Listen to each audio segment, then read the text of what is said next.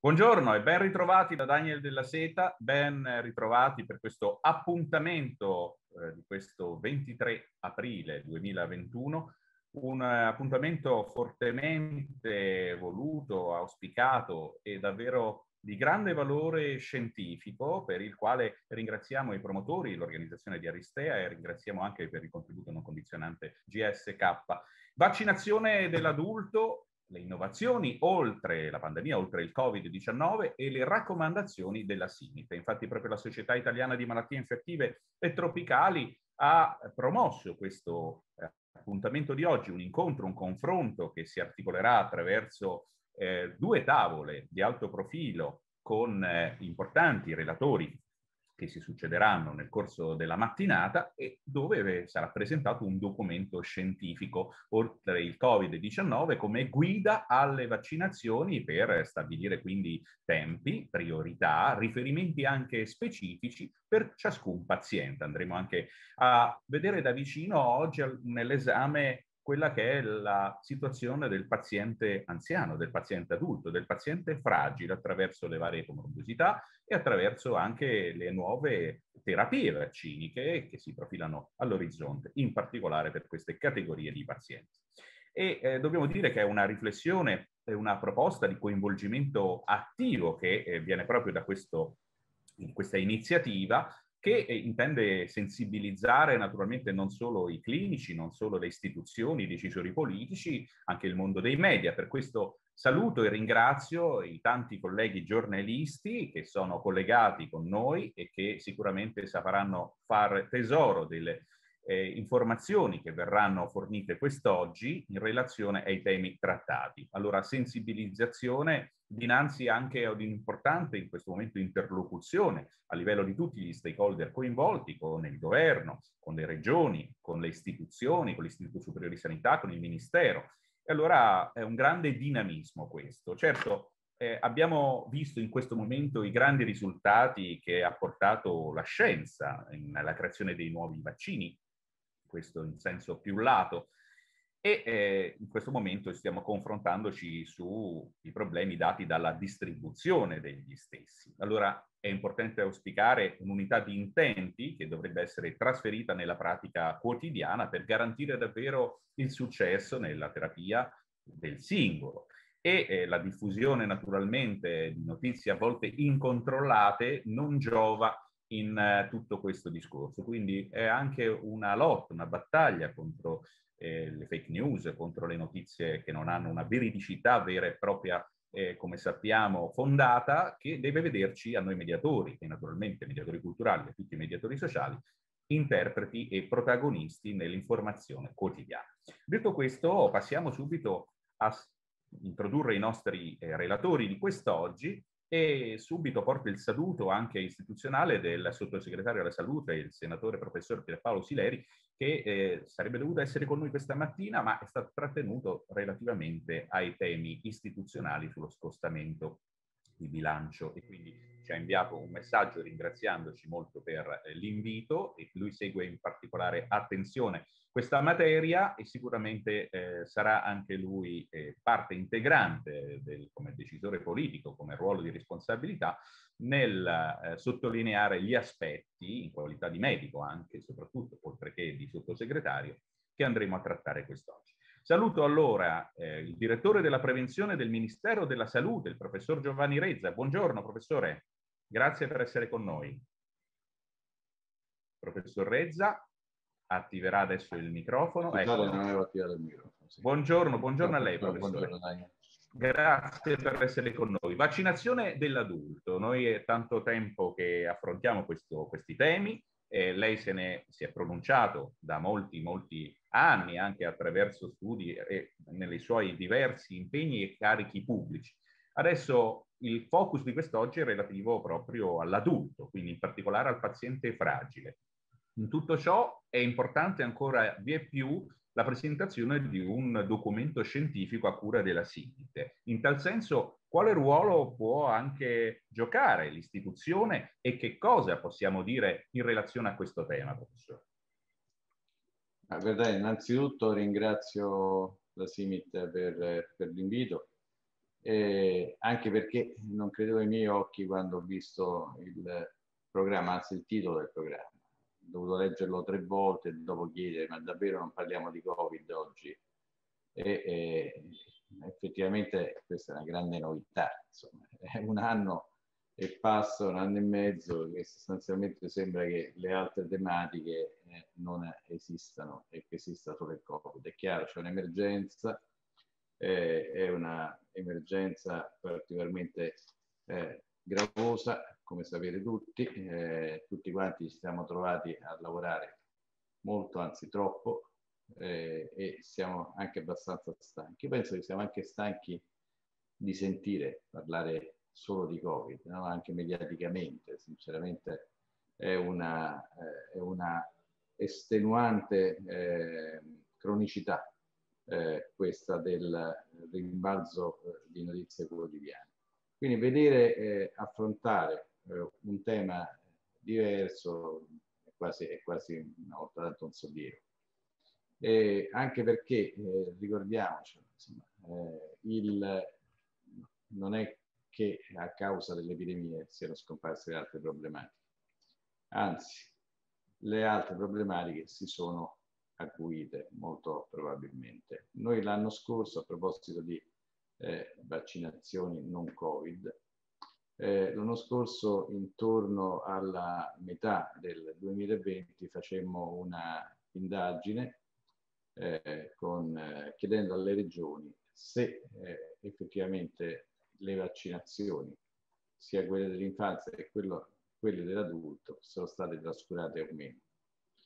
Eh, e eh, se eh, il personale, quale quota di personale dedicato alle vaccinazioni di routine, chiamiamole così, eh, era stato, fosse stato distolto diciamo, dalle proprie attività per andare a coprire i buchi eh, relativi alla ehm, risposta al Covid.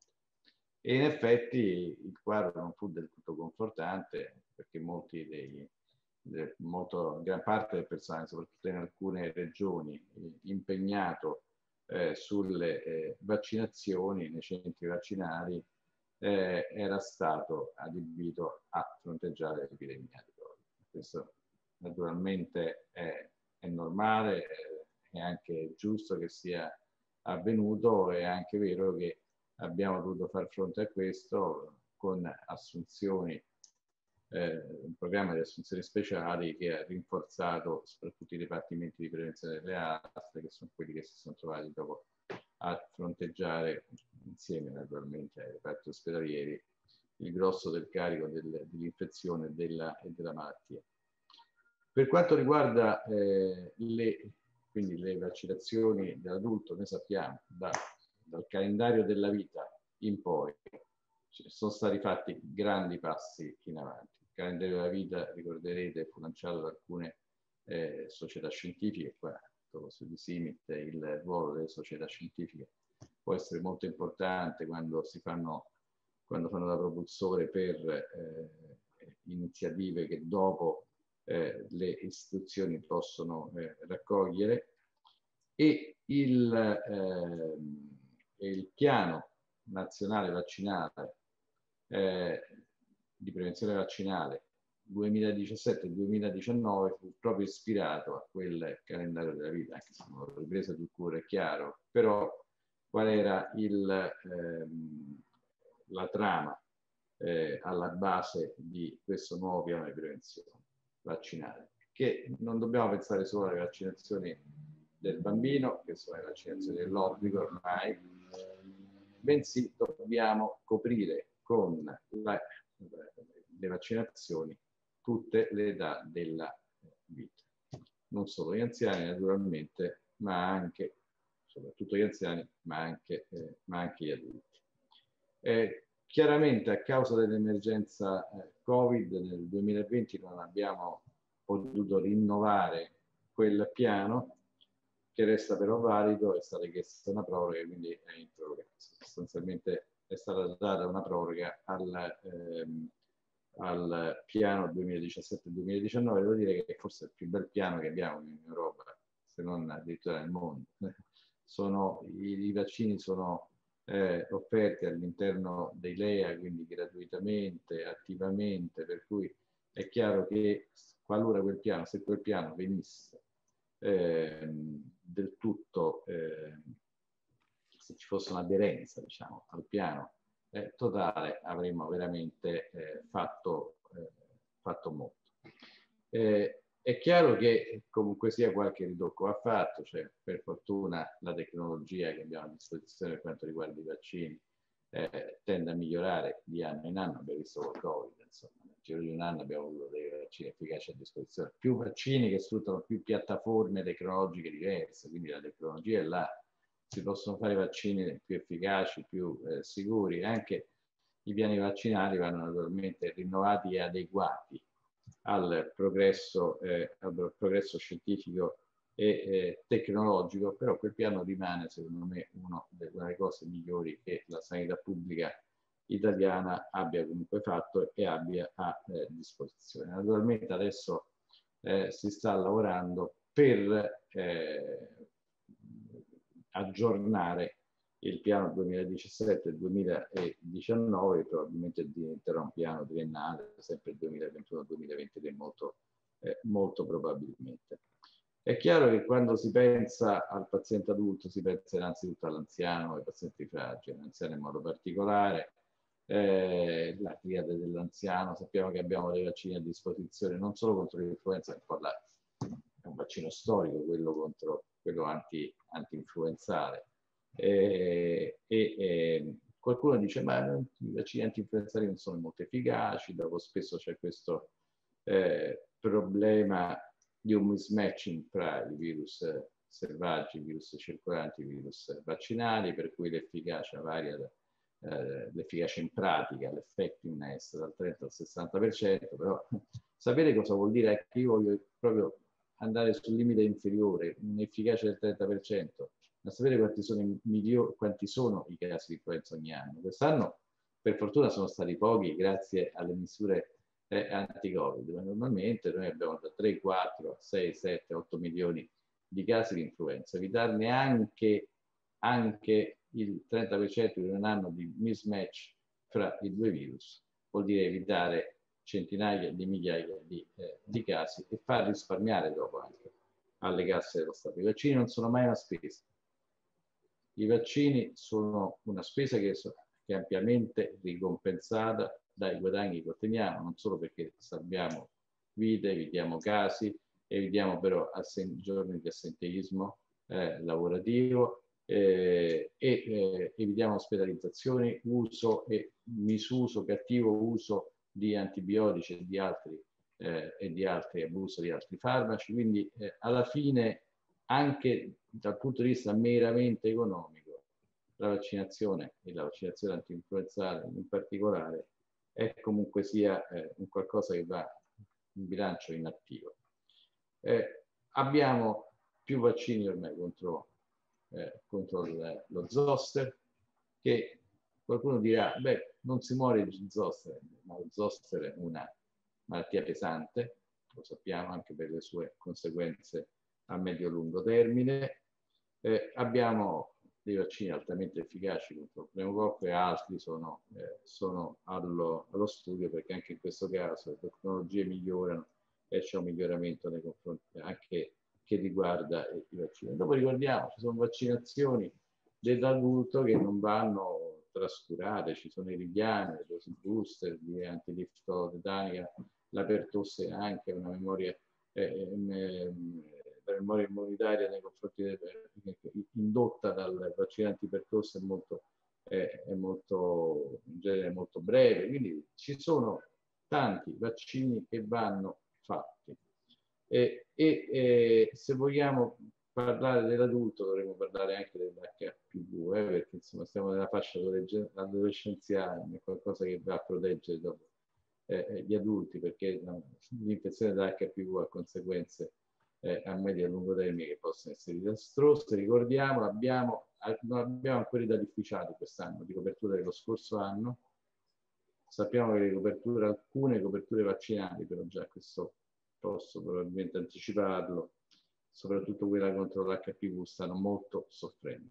soffrono di meno le vaccinazioni, quelle dell'infanzia, le vaccinazioni dell'obbligo, anche perché insomma, i figli a scuola, anche se le scuole un giorno sono chiuse, un giorno sono aperte, si devono comunque sia portare, loro devono avere il certificato per entrare, ma per quanto riguarda le vaccinazioni invece dell'adolescenza, dell'età adulta eh, e degli anziani, queste potrebbero soffrire molto, forse un po' meno che dal primo blocco, ma potrebbero soffrire molto eh, a causa eh, dell'attuale eh, pandemia. Quindi benvengano iniziative come queste da parte di società scientifiche, molto importante non parlare solo di, di Covid, lo dice uno che il 99,9%, 99,9% del tempo lo impiega lavorando sul Covid, però è importante anche eh, non dimenticarci che la prevenzione eh, è essenziale, che quando parliamo di prevenzione parliamo anche di screening e soprattutto di vaccinazioni e lì dobbiamo eh, sicuramente non scontare dei ritardi a causa degli altri impegni che ci, eh, che ci assillano quotidianamente. Quindi grazie per l'iniziativa e vi auguro buon lavoro. Grazie, grazie molto al professor Rezza anche per aver sottolineato il ruolo delle società scientifiche e con orgoglio aver messo l'accento su un piano vaccinale che, che, lei considera anche nel suo aggiustamento prossimo come uno dei migliori d'Europa. Allora tecnologia e sicurezza, adeguamento e progresso scientifico sino abbiamo detto al piano che dovrebbe coprire l'anno 2023, lei ha detto una frase molto significativa, i vaccini non sono mai una spesa, anzi sono di fatto un vero e proprio eh, guadagno, possiamo dire, in quanto eh, permettono minori ospedalizzazioni, minore utilizzo degli antibiotici e quindi un guadagno e veramente un vantaggio dal punto di vista economico. Lei ha detto un bilancio in attivo, vorrei coinvolgere il professore Andreoni proprio sui temi che abbiamo finora affrontato in qualità di direttore scientifico anche della Società Italiana di Malattie Infettive Tropicali. Buongiorno professore. Buongiorno, buongiorno Daniel, buongiorno a tutti. Allora, abbiamo ascoltato eh, questo eh, inquadramento anche generale del professor Rezza, ma dal punto di vista anche eh, della società, perché questo position paper, questo consensus si è reso davvero importante, dobbiamo dire, in un eh, esame di una fetta ampia della popolazione, come quella adulta, in particolare fragile, che può soffrire di diverse comorbosità e quindi che rende vulnerabile, sensibile sicuramente a questo tema. Allora, tutto questo si spiega secondo quali principi e quali riflessioni che voi avete condiviso? Ma io innanzitutto ringrazio il professor Rezza perché tra le tante cose interessanti e giuste che ha detto, quella anche di ricordare che le società scientifiche devono avere un ruolo all'interno della sanità pubblica come pungolo per stimolare delle discussioni e avviare dei processi. Diciamo. E questo nella società scientifica di malattie infettive da diversi anni noi stiamo discutendo e sentiamo la necessità all'interno dell'attività giornaliera che facciamo di rivolgere l'attenzione al problema delle vaccinazioni nell'adulto che sono ovviamente considerate, come ha detto giustamente eh, il professor Ressa, all'interno del piano nazionale vaccini. Però in realtà quello che è la visione che noi abbiamo personalmente e giornalmente è quella di vedere una serie di eh, categorie di pazienti fragili affetti da comorbosità in cui il piano vaccinale dovrebbe in qualche modo eh, individuare all'interno delle singole categorie problematiche diverse. Diciamo. Eh, su questo ne abbiamo parlato anche a lungo con il presidente Tavio che in questi ultimi mesi si è molto prodigato proprio sull'idea di sviluppare all'interno della, eh, della nostra società un, un, avviare un discorso proprio su, sul problema delle diverse fragilità in un mondo, diciamo, quello della sanità pubblica che ha fatto de, degli avanzamenti incredibili negli ultimi anni e, e, questi avanzamenti inevitabilmente si traducono in soggetti sempre più fragili, no? cioè i, i, i, progressi incredibili in campo oncoematologico, nel, nel campo della, della trapiantologia, ma potremmo elencare mille discipline nelle quali evidentemente in questi ultimi anni abbiamo fatto dei progressi tali per cui malattie ritenute mortali fino a poco tempo fa, anche con un tasso di letalità eh, spaventosamente alto, sono oggi curabili. ma evidentemente tutto questo appunto si porta appresso delle fragilità. Ecco, quando eh, la fragilità si va a, a incontrare con il problema della vaccinazione, diventa un problema molto complicato, per cui capire all'interno di singole condizioni eh, quali siano le malattie che possono essere in qualche modo più salienti per quel tipo di popolazione e quali possano essere gli interventi di, di, di, vaccinazione che debbano essere fatti, ci è sembrato e ci sembra un argomento di grandissimo interesse. Allora per far questo abbiamo pensato di eh, di produrre un position paper, cioè di produrre un, direi un primo, se, se, se mi permettete, un primo, un primo lavoro che serva in qualche modo di stimolo ad avviare una discussione all'interno appunto della vaccinazione delle popolazioni fragili adulte diciamo. E per far questo io la ringrazio pubblicamente, abbiamo utilizzato anche la competenza eh, della dottoressa Sticchi che, che, si è sempre interessata diciamo, di questo argomento, quindi la, la nostra società si è voluta inevitabilmente, giustamente anche aprire e, e, lo farà ancora ulteriormente perché questo campo della vaccinologia ovviamente è un campo in cui ci sono tantissime variegate competenze e credo nelle quali bisogna anche inserire delle competenze eh, specialistiche che noi spesso non consideriamo all'interno della vaccinologia. No? Parlavo prima degli oncologi, degli ematologi e quant'altro. Ecco, noi siamo abituati all'interno dell'ospedale ad affrontare con loro il problema eh, delle infezioni in, questi, in questa tipologia dei pazienti e inevitabilmente il discorso cade sempre sulla prevenzione, perché la prevenzione è il miglior modo per curare le malattie, evidentemente. Ecco, e, e concluderei qui perché poi ci saranno eh, tutti i colleghi che entreranno nello specifico, però quello che ha voluto fare la società scientifica è stato proprio questo, cioè eh, mettere a punto un position paper che affrontasse all'interno di alcune categorie caratteristiche che non sono soltanto eh, diciamo eh, l'età adulta, ma è anche l'età adulta declinata all'interno dei, dei pazienti con epatopatia cronica, con insufficienza respiratoria, con malattia renale, gli oncoematologici, i pazienti immunodepressi con i, gra- i diversi gradi di immunodepressione devo dire, un argomento molto complicato, molto variegato, nel quale noi credo con questo primo nostro lavoro iniziamo a mettere alcuni punti di discussione. Diciamo, certamente non, lo, non riteniamo che questo sia un, un, lavoro conclusivo, ma debba essere considerato questo position paper un punto di partenza e questo, questo discorso che facciamo oggi tutti quanti insieme credo che debba e voglia stimolare ulteriormente ragionamenti che dovremo fare in modo multispecialistico, diciamo. Ti ringrazio.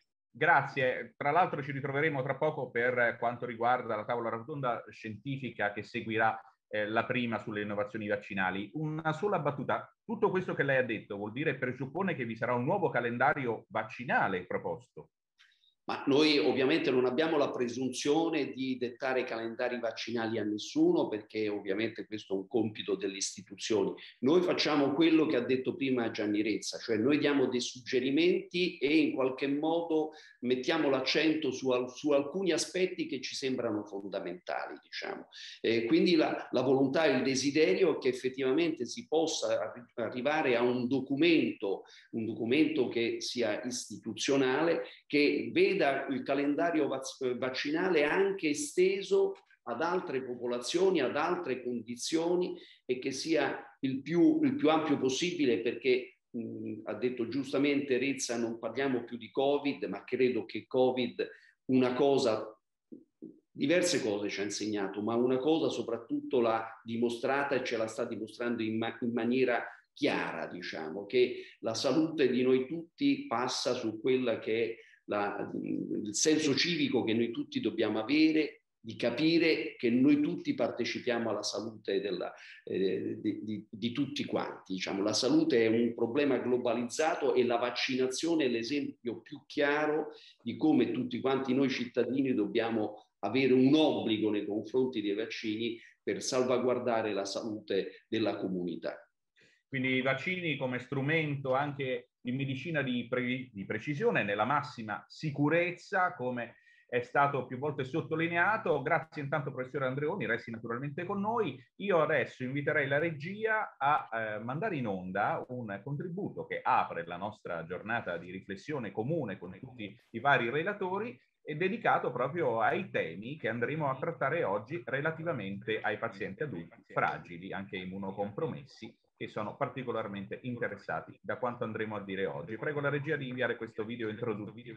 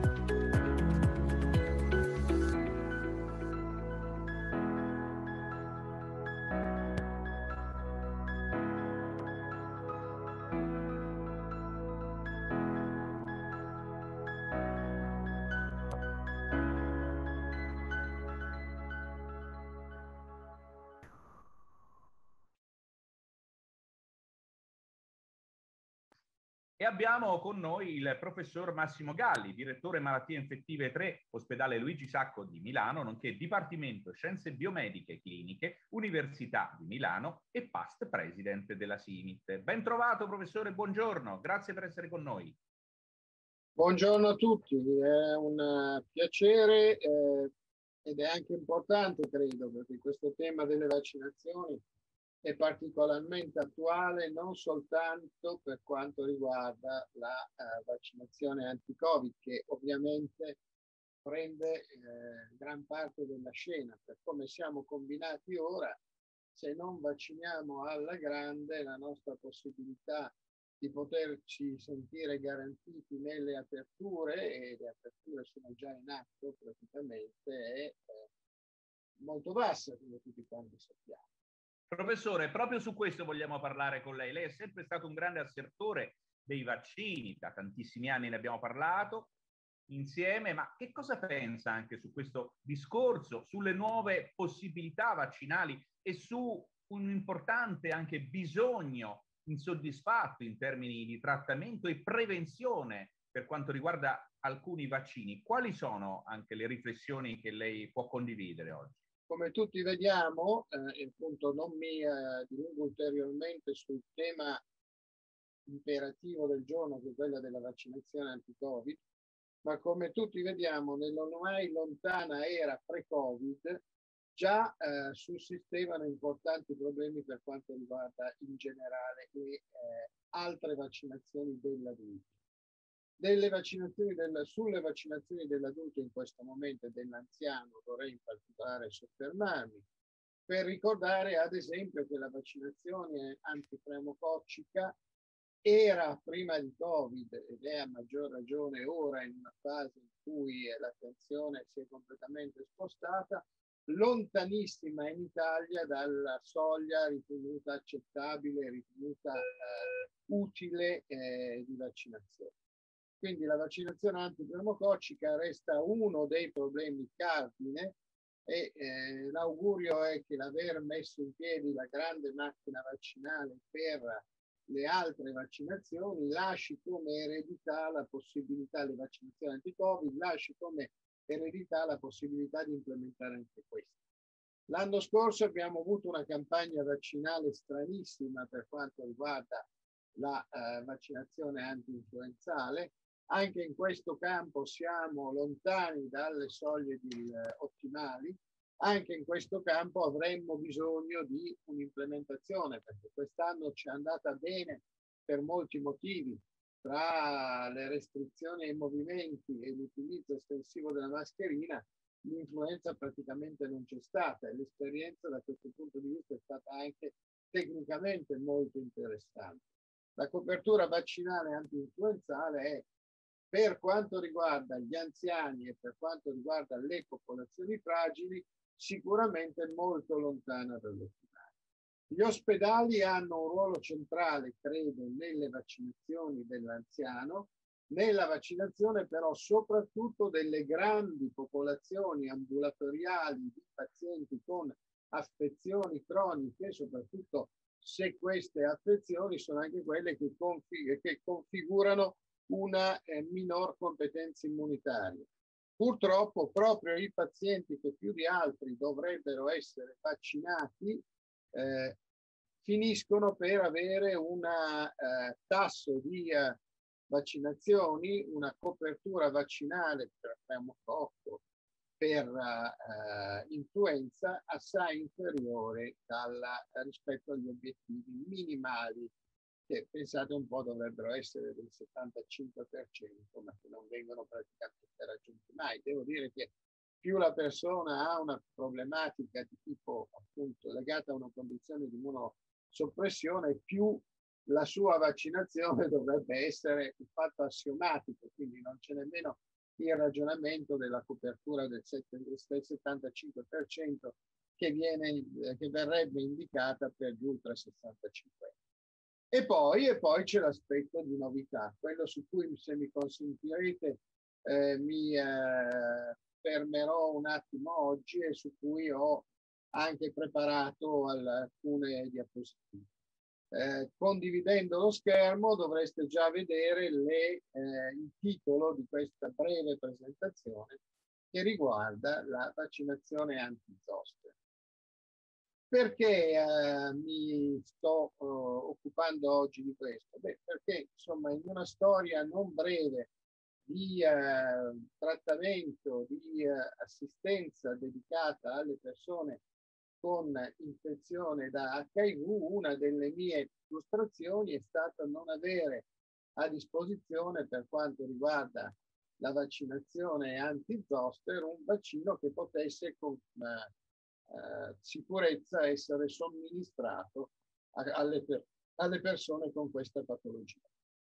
E lo stesso vale per le persone con artrite reumatoide piuttosto che con sclerosi multipla, piuttosto che in qualsiasi altra delle numerose condizioni che eh, comportano una limitata risposta immune. Questa è l'incidenza cumulativa nella popolazione generale con più di 50 anni per mille anni di persona della eh, manifestazione zosteriana. Come vedete, questa è una recentissima eh, meta-analisi.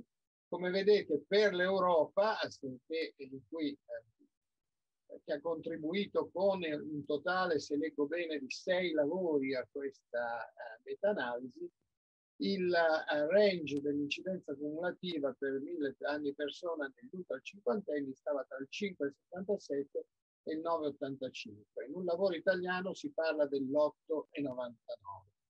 È interessante sottolineare che eh, eh l'incidenza cumulativa e anche eh, l'incidence rate risultava complessivamente più alta nelle donne rispetto agli uomini.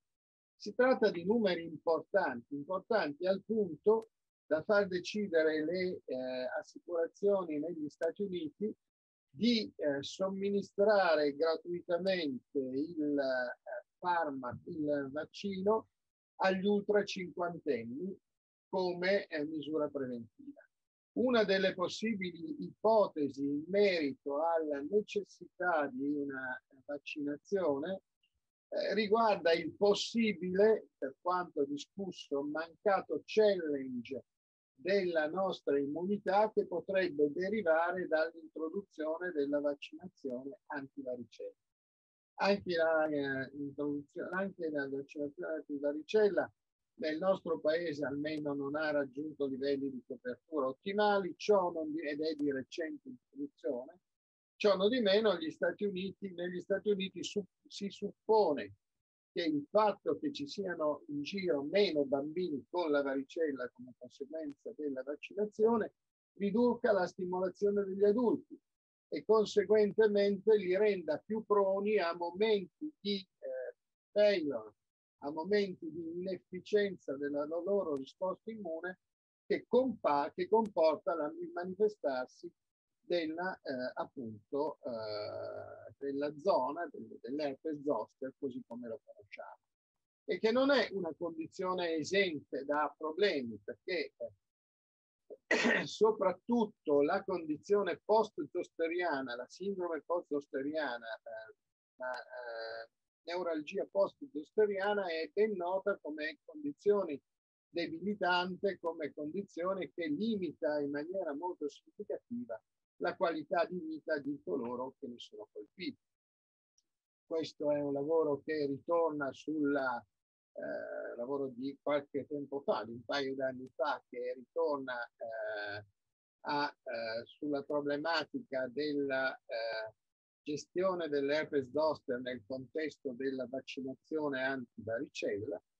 E questo è un lavoro del 2016 che confronta eh, i due vaccini, soprattutto quello nuovo e attualmente eh, eh in, in, prospettiva di entrare nella, uh, in uso corrente nel nostro paese con un sgradevole ritardo, devo dire, nel senso che è pronto già da diverso tempo, ma per molti motivi non era stato registrato uh, in Italia e in una parte dell'Europa continentale. Bene, la differenza tra questo vaccino, che è un vaccino ricombinante, e eh, il vaccino livino, eh, livo attenuato a disposizione è una eh, differenza piuttosto clamorosa.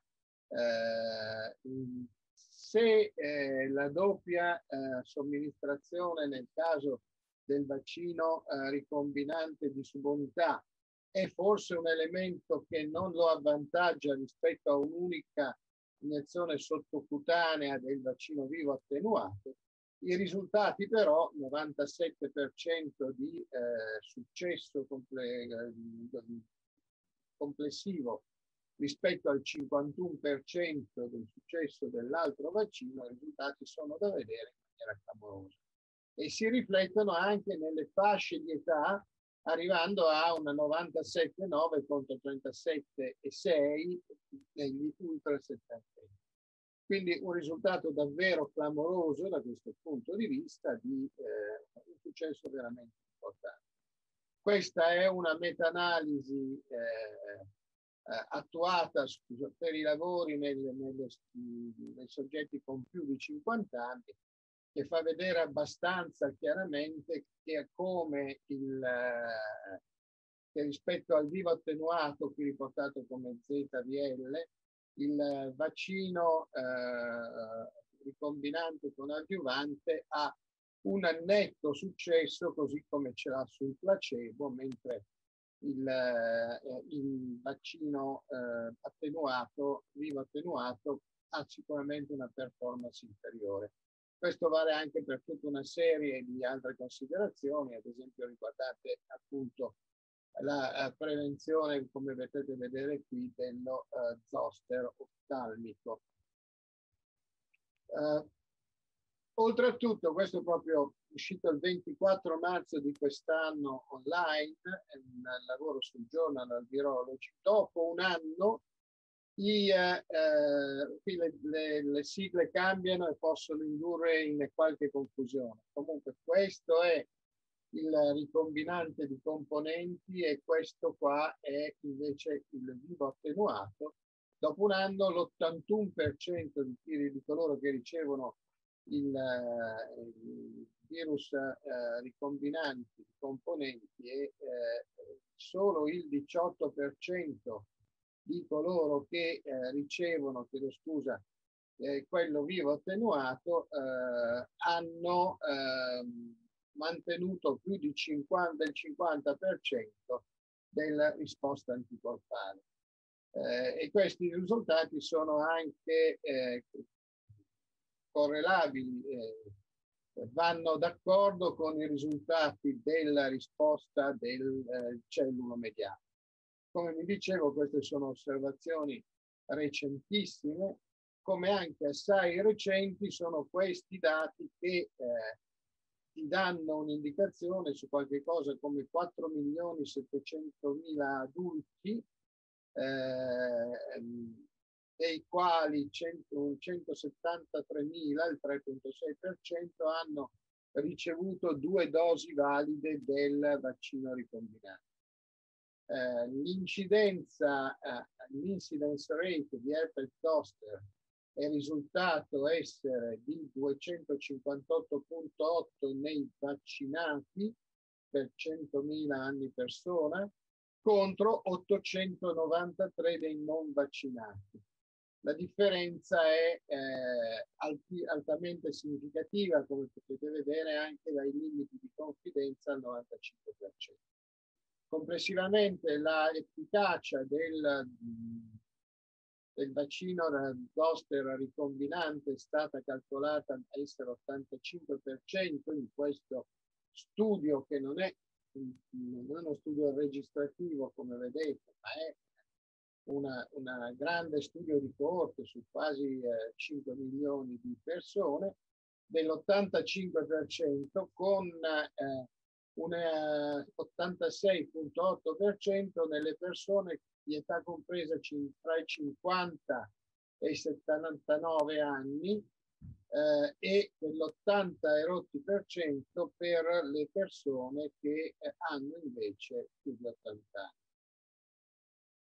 Nei pazienti che avevano fatto vaccino vivo nei 5 anni prima dell'inclusione dello studio, la efficacia del vaccino era dell'84%, quindi veniva in questo modo essere ulteriormente, come dire, confermata senza interferenze particolari. Eh, ecco, molto rapidamente... Professore, mi perdoni, ma quale beneficio quindi potrà portare questo vaccino? Beh, eh, se utilizzato in maniera... Il vaccino ricombinante. Toglierci in mezzo dalla possibilità della, eh, dello zoster. Eh, io, ad esempio, eh, io mi avvio a compiere 70 anni e credo che cercherò di fare questo vaccino. La varicella a suo tempo l'ho fatta e quindi sono certo di albergare il virus eh, da albergare il varicella zoster virus, virus e quindi da questo punto di vista eh, facendo questo vaccino mi metterò in condizioni di evitare possibilmente di farmi uno zoster franco e magari di portarmi appresso un periodo anche lungo e fastidioso di neuralgia post-effettiva tra l'altro una condizione che non ha una vera e propria terapia non, ed è complicata da gestire anche per il, il dolore, eh, il fastidio che comporta per chi ne Aggiungo poi che eh, questo virus, questo vaccino finalmente è possibile utilizzarlo nelle persone eh, con eh, quadri che rendono, che controindicano in maniera assoluta l'utilizzo invece di un vaccino vivo attenuato. E qui torno alle persone con infezione d'HIV che hanno, nonostante appunto l'efficacia delle terapie, un'incidenza ancora eh, rilevante di herpes zoster, però nel momento in cui parlo di questo sto pensando a tutte le persone che non hanno l'HIV ma sono trattate ad esempio bio, con biologici per una serie di, eh, con farmaci biologici, per una serie di eh, manifestazioni di, di patologie autoimmuni, bene, queste persone potranno trarre dall'utilizzo della, eh, di questa vaccinazione un importantissimo beneficio per quanto riguarda una delle manifestazioni più frequentemente associate a una condizione di eh, immunodepressione o comunque di minore, effica- di minore eh, efficace risposta immune che si associa con eh, le condizioni in cui sono portatori i farmaci che devono assumere.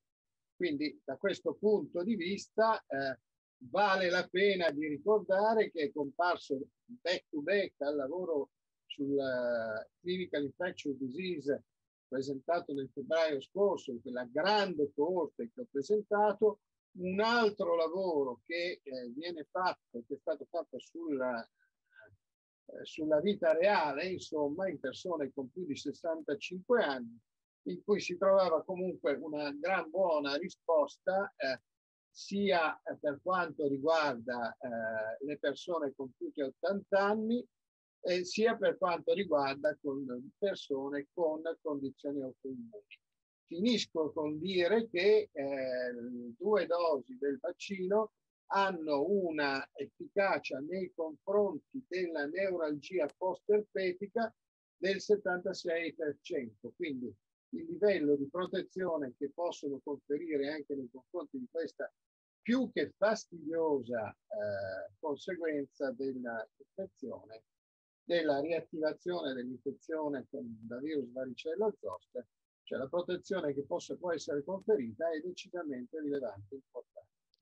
Ricordo che 6 mesi, 6-12 mesi successivi a una manifestazione zosteriana, soprattutto nelle persone con patologie autoimmuni o con patologie a patogenesi immunitaria in generale, eh, aumenta la frequenza anche di fenomeni cardiovascolari tipo stroke e eh, cardio o cerebrovascolari tipo stroke e che quindi questo è eh, un elemento importante, pesante a favore della diffusione e dell'applicazione di eh, questo genere di eh, vaccini. Credo di eh, aver parlato anche troppo lungo e ringrazio per l'attenzione.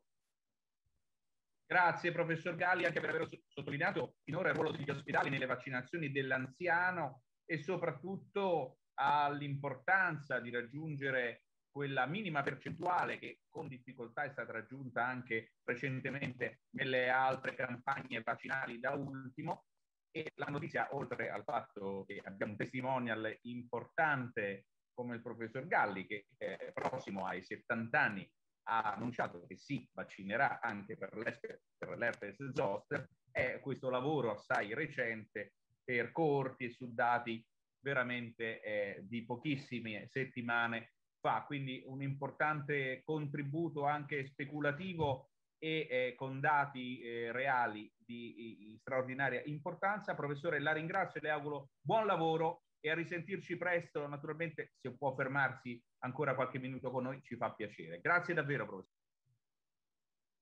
Bene, grazie allora al professor Galli per questo suo contributo. Passiamo allora, nel frattempo saluto anche l'onorevole Elena Carnevali che ci ha raggiunto, capogruppo PD, dodicesima commissione affari sociali, Camera dei Deputati, ben trovata onorevole, saluto anche poi la senatrice Maria Domenica Castellone della Commissione parlamentare di sanità del Senato della Repubblica e passo la parola alla dottoressa Paola Stefanelli che è direttore del reparto malattie prevenibili, vaccinazioni, laboratori di riferimento, Dipartimento Malattie Infettive, Istituto Superiore di Sanità. Buongiorno dottoressa Stefanelli. Buongiorno a lei, buongiorno a tutti. Allora, vorrei innanzitutto con lei condividere alcune eh, riflessioni anche su quanto aveva prima eh, fatto cenno il professor Rezza, che aveva eh, parlato anche delle grandi e prossime minacce come eh, le infezioni antimicrobiche in particolare. Allora, quale può essere, le chiedo, l'impatto anche delle vaccinazioni nel contrasto alle infezioni resistenti agli antibiotici?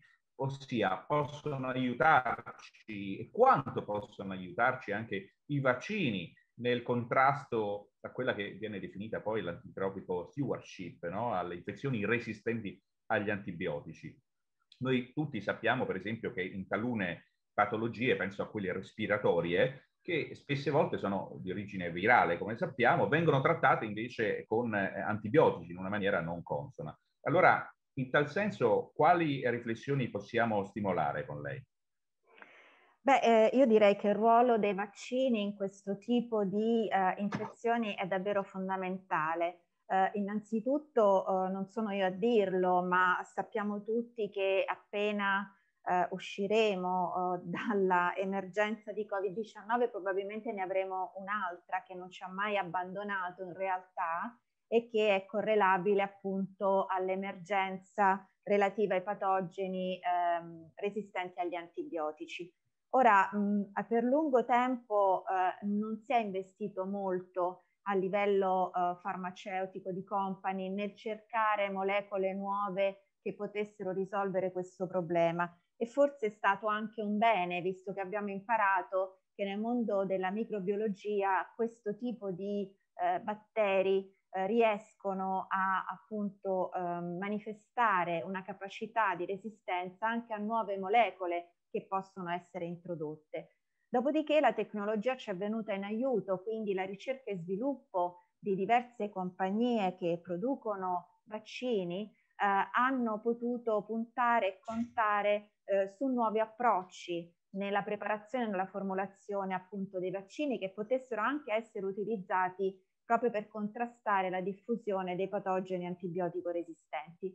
Ne posso citare alcune, come per esempio la reverse vaccinology, che è stata con successo utilizzata per la preparazione del nuovo vaccino antimeningococco B e che si basa su una tecnologia che in silico va a cercare i geni che codificano quelle proteine maggiormente conservate in un batterio che quindi possono essere considerate dei buoni candidati vaccinali. Dopodiché vengono selezionati questi antigeni, vengono provati ehm, nell'animale, nel topo per capirne l'immunogenicità e poi entrano magari in una fase di sviluppo.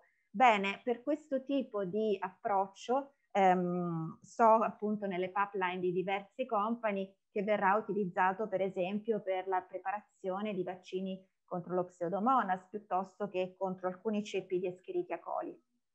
Poi possiamo ricordare un approccio che la GMMA e che si basa appunto sull'utilizzo delle automembrane vescico del, di alcuni tipi di, di, di, patogeni antibiotico resistenti e che possono diciamo, essere utilizzati a loro volta come antigeni vaccinali e la cui preparazione è anche piuttosto semplice nell'uso e per questi per esempio si pensa a un loro possibile utilizzo contro la shigella o ancora la bioconjugation in cui si utilizzano eh, ceppi come quello di Escherichia coli ingegnerizzati che eh, permettono di produrre all'interno del, del, del, citoplasma del batterio tutti quegli antigeni che servono alla produzione eh, di un vaccino contro un determinato patogeno antibiotico resistente. Non ultimo dobbiamo mm, pensare appunto ai nuovi adiuvanti, soprattutto TOC-like receptor agonist che possono aumentare la risposta. Ovviamente ci sono delle prioritizzazioni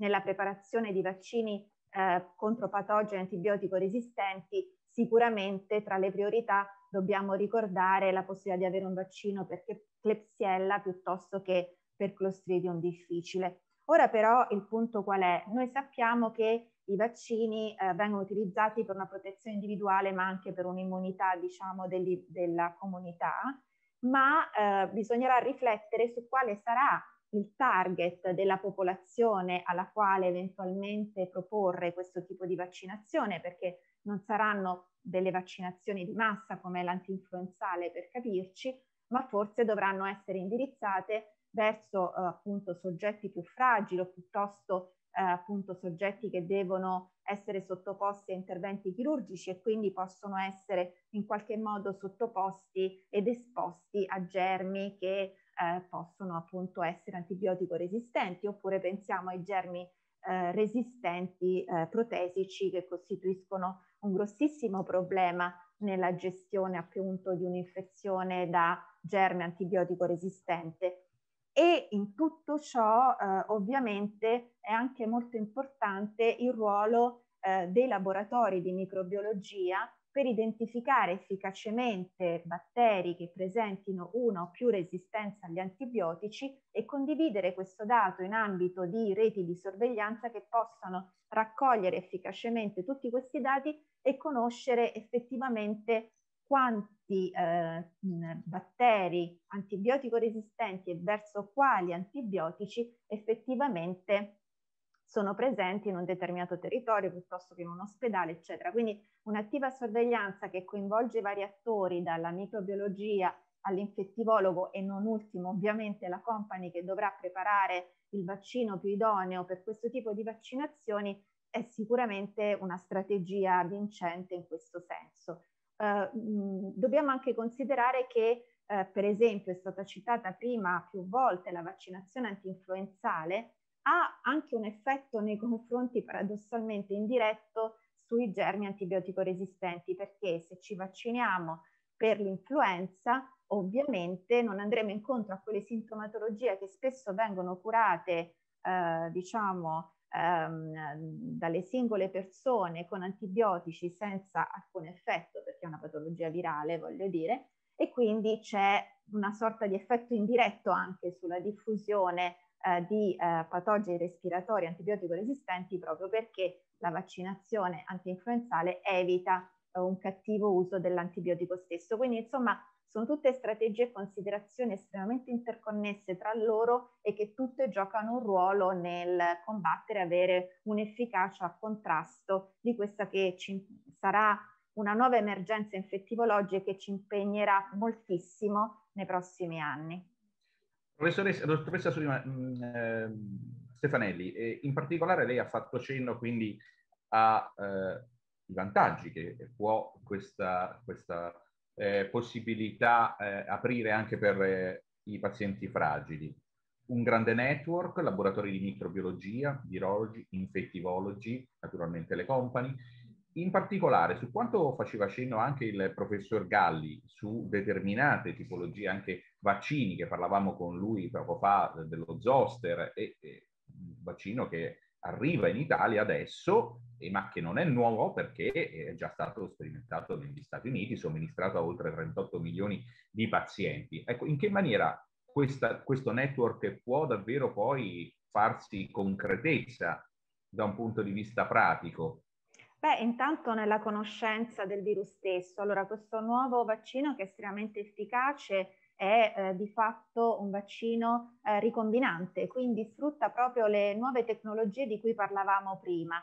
Eh, ha numerosi vantaggi, come ha egregiamente descritto prima il professor Galli, cioè può essere utilizzato anche in quei soggetti immunocompromessi che sono proprio una delle cause, diciamo, di suscettibilità all'infezione dell'herpes zoster e ha un'efficacia molto elevata e, e soprattutto ehm, praticamente azzera la possibilità di avere delle conseguenze anche ehm, ehm, a seguito della, della, della, dell'infezione. Ora eh, lo studio anche di questo tipo di virus e quindi l'analisi per esempio genomica per comprendere la conservazione di certi geni che codificano delle proteine che sono eh, elementi essenziali, gli antigeni principali di questi vaccini, eh, è appunto alla base eh, della valorizzazione di questi vaccini in termini anche di efficacia proprio perché vanno a dimostrare una conservazione del gene, quindi una conservazione della proteina e la possibilità di essere estremamente efficace nei confronti di vari ceppi che possono circolare all'interno della popolazione. Stessa cosa dicasi per lo pneumococco che è stato citato eh, precedentemente. Eh, come sapete questa è una vaccinazione che è stata introdotta nel nuovo piano di vaccinazione nazionale già dal 2017 per i soggetti da 65 anni in su e ehm, causa polmoniti eh, nell'anziano, ma è anche un batterio che è causa di malattia batterica invasiva, quindi di meningite di sepsi, eh, sapete che l'Istituto sulle Sanità coordina una sorveglianza per le malattie batteriche invasive, quindi per lo pneumococco, oltre che per meningococco e Moflus influenze. E quindi avere una raccolta del dato puntuale relativamente alla numerosità di ceppi, i loro serotipi e l'antibiotico sensibilità dei ceppi che causano malattia è alla base per conoscere il cosiddetto burden of disease. Grazie dottoressa Stefanelli per il suo contributo e ricordo anche a tutti i nostri eh, uditori eh, che partecipano a questo eh, confronto di quest'oggi che possono porre domande attraverso l'apposito eh, grafica, question and answer, domande e risposte e quindi noi le porremo ai nostri relatori. E passiamo allora al dottor Roberto Ieraci, referente scientifico vaccinazioni ASL RM1 Gruppo Strategie Vaccinali Regione Lazio. Eh, lei, dottor Iraci, buongiorno, intanto ben trovato. Buongiorno a tutti. È un vaccinologo vero e proprio sì. e eh, tra l'altro ha avuto anche un'esperienza diretta con alcuni pazienti relativamente ai temi che stiamo trattando quest'oggi. E eh, abbiamo affrontato con lei anche quella che è una sintomatologia, diceva il professor Rezza, che è una malattia comunque importante, quella dell'herpes zoster, è una malattia che come diceva pure il professor Galli, che dà una neuralgia post-erpetica che incide anche sullo stesso umore del paziente, sulla sua qualità di vita. Allora possiamo con lei analizzare quali siano i vantaggi anche per eh, gli over 65 o quindi occorre di fondo lavorare sulle coperture vaccinali che forse sono non troppo eh, numerose su questo aspetto. Come fare allora, grazie anche alla vostra esperienza sul campo? Bene, le coperture vaccinali per l'herpes zoster nel nostro paese sono molto basse, assolutamente, e in tempi di Covid addirittura si sono abbassate. Avere la disponibilità di un vaccino sicuro, efficace, inattivato, adiuvato, che amplifica la risposta immunitaria, sicuramente ci mette in una posizione di vantaggio. Quindi io come Lazio, come modello Lazio, non soltanto efficace dal punto di vista della vaccinazione Covid, ma anche dal punto di vista come modello di vaccinazione in generale, stiamo approntando la possibilità di mettere a disposizione questo vaccino, ma con una strategia vaccinale nuova, perché poi è importante avere eh, innovazioni in questo campo, coinvolgendo in toto e pienamente i medici di famiglia, ai fini di una medicina personalizzata. L'herpes zoster è la, sua, è la sua più grave complicanza che nell'energia post-herpetica è un vero problema, anche perché attualmente tutte le terapie che noi abbiamo sono non sufficienti. Ovviamente questa, questo dolore urente, terribile della nevralgia post-herpetica crea veramente uh, depressione, un'alterazione della vita e delle relazioni di questi pazienti. Quindi avere a disposizione un vaccino realmente efficace, ma anche molto maneggevole, perché per poter essere adoperato nel setting della medicina generale. E questo, l'innovazione la strategia, la disponibilità di un vaccino sicuro, efficace, adeguato, a base di glicoproteina E, sicuramente garantisce la possibilità di poter raggiungere quelle coperture vaccinali previste dal Piano Nazionale Vaccini, ma che in questi anni sono state unicamente un miraggio. E in questo io vorrei aggiungere anche il problema delle vaccinazioni nei soggetti fragili. Noi sappiamo attualmente che i pazienti oncologici, i pazienti trapiantati di midollo, di organo solido, i pazienti reumatici, i pazienti immunodepressi, immunosoppressi, i tassi di immunizzazione in questo target sono veramente bassi. Noi come Regione Lazio abbiamo fornito la prima regione italiana una cornice istituzionale finalmente ai centri vaccinali ospedalieri. Perché? Per ovviare a questi bassi tassi di immunizzazione, ma anche per facilitare l'accesso, ma anche per studiare la tempistica della vaccinazione in rapporto alle terapie. Questo è un discorso molto importante e i grandi ospedali del Lazio, dotati di onchematologia, di reumatologia, di dermatologia, di ginecologia, hanno a disposizione adesso una struttura di secondo livello per poter affrontare in maniera molto tecnica anche per valutare l'efficacia della vaccinazione in questi soggetti. Ritornando al nuovo vaccino dell'herpes zoster, devo, di, devo dire che io ho una certa esperienza, anche se non c'era disponibile nel nostro paese, attraverso la farmacia del Vaticano, io ho vari pazienti oncologici e reumatici in trattamento con farmaci biologici li ho avviati con questo vaccino per poter avere sicuramente un vaccino efficace nei confronti di una patologia temibile. Però ribadisco ancora il concetto, i soggetti fragili in questo paese eh, non ricevono le vaccinazioni che dovrebbero ricevere, anzi sono i, soggetti che dovrebbero essere vaccinati più degli altri da questo punto di vista. E in questi anni noi come regione, ma anche come società scientifiche, ci siamo battuti per esempio nel, campo della vaccinazione antinfluenzale sul concetto di appropriatezza. Io in questi anni mi sono caduta tante volte le braccia quando uh, singole regioni hanno dato la disponibilità ai medici di famiglia di una sola tipologia di vaccino antinfluenzale, a partire dai sei mesi fino a cento anni. Noi sappiamo che oggi è un concetto molto importante l'appropriatezza dei vaccini antinfluenzali perché esistono varie tipologie in rapporto all'età e allo stato di salute. Quindi dare a un soggetto anziano il vaccino più appropriato, che in questo caso è un vaccino adiuvato oppure un vaccino ad alta dose, gli permette comunque di essere più protetto con una durata dell'efficacia della vaccinazione più a lungo. E, e ricordo che l'efficacia protettiva della vaccinazione antinfluenzale dipende non soltanto dalla vaccinazione dei soggetti a rischio, ma anche dalla percentuale di copertura di tale vaccinazione nella popolazione generale. Quindi il mio messaggio di solidarietà, vaccinarsi tutti per proteggere se stessi e per proteggere anche gli altri. Dottor Ieraci, eh, medicina personalizzata, ne abbiamo parlato tante volte insieme, come può avvantaggiarsene in tal senso?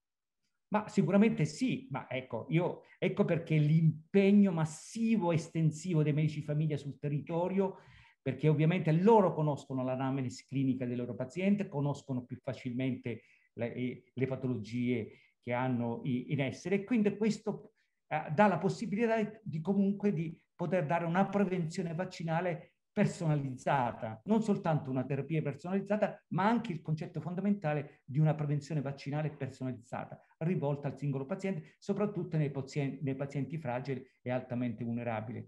Noi speriamo di poter utilizzare questo vantaggio fornito dall'informatizzazione digitale, finalmente noi abbiamo a disposizione i database di questi soggetti fragili di poterla utilizzare e riversare su tutte le altre vaccinazioni, quindi sulla vaccinazione antipneumococcica, sulla vaccinazione anti-herpes zostre, sulla vaccinazione antinfluenzale, ma partendo comunque per tutte le categorie di fragili che hanno bisogno della prevenzione nei confronti di malattie prevenibili dai vaccini. Grazie, dottor Ieraci, anche per averci illustrato la sua esperienza sul campo con il modello Lazio, in particolare sui vaccini indirizzati alle eh, pazienti fragili. Resti con noi se le fosse possibile. Eh, onorevole Elena Carnevali, con lei andiamo ad affrontare anche eh, un aspetto che è quello naturalmente delle attività istituzionali, volte soprattutto a uh, sottolineare l'importanza di sensibilizzare anche da un punto di vista mh, politico, ma da un punto di vista anche della stessa popolazione, eh, tutti gli interessati a questi temi. Buongiorno innanzitutto e grazie per essere con noi. Grazie davvero al dottor Daniele della Seta dell'invito, grazie alla Simit, ad Aristea e grazie davvero per anche questa giornata. Guardate, eh, lo dico per l'ennesima volta e ringrazio davvero molto perché alla fine noi dobbiamo parlare di programmazione sanitaria e sì. questo è il punto vero, eh, abbiamo sentito anche nelle parole naturalmente del professor Rezza e eh, quanto sia importante una strategia vaccinale efficace, una pianificazione una verifica in particolare dei tassi di vaccinazione, della copertura dei tassi di vaccinazione, lo sperimentiamo nel periodo funesto che abbiamo attraversato e speriamo di uscirne presto, ma eh, guardate, mi sta molto a cuore quello che abbiamo sentito oggi perché ne ho fatto una battaglia anche politica a partire eh, da un lato dall'opportunità che il Servizio Sanitario Nazionale offre con queste ulteriori vaccinazioni di cui parliamo oggi, che sono state incluse già nel piano nazionale vaccinale a partire dal 2017.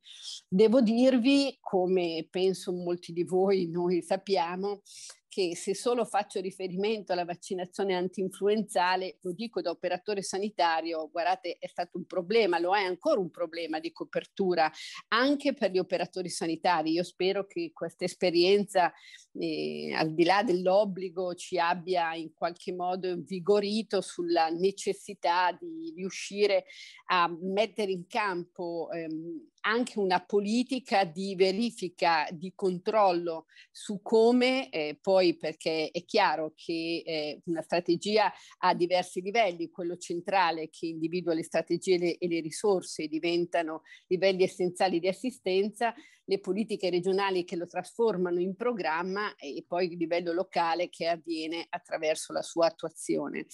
Noi abbiamo ben chiaro e ben evidente due cose, che eh, in, è un pilastro, la copertura vaccinale è un pilastro fondamentale della sanità pubblica e rappresenta, direi, il, lo strumento che ha un maggior rapporto costo-beneficio.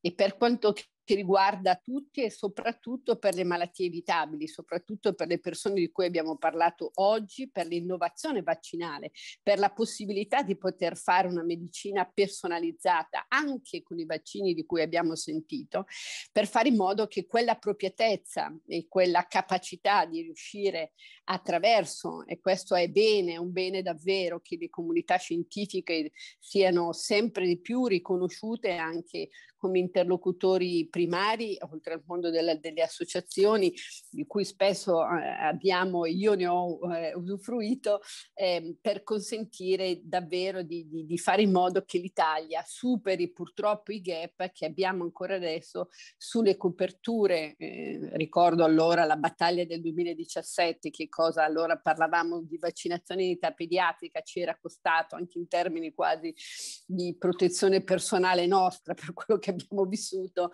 però io credo che al di là di questo una, eh, un, un, investimento maggiore anche per quel che riguarda ehm, l'innovazione, per quello che riguarda, toccherò alcuni temi in questo breve tempo che mi, mi, è stato dato perché molte suggestioni mi sono state particolarmente utili. Vado e ne tocco alcune. La prima, giustamente prima si parlava della messa in rete dei laboratori di microbiologia e delle reti di sorveglianza. Questo è stato una delle richieste degli emendamenti che abbiamo fatto, che ho proposto, ancora credo se non ricordo male, le Cura Italia, perché solo e grazie anche attraverso questo noi riusciamo ad avere quel database che ci consente innanzitutto di riuscire ad arrivare poi a quella individuazione, poi personalizzazione, poi realizzazione, oltre al sostegno nell'investimento della ricerca che eh, il Piano Nazionale di Ripresa e Resilienza cuba con un miliardo e sei a diverse voci peraltro, che però come dire, ha, ha bisogno di sicuramente di maggior vigore rigore.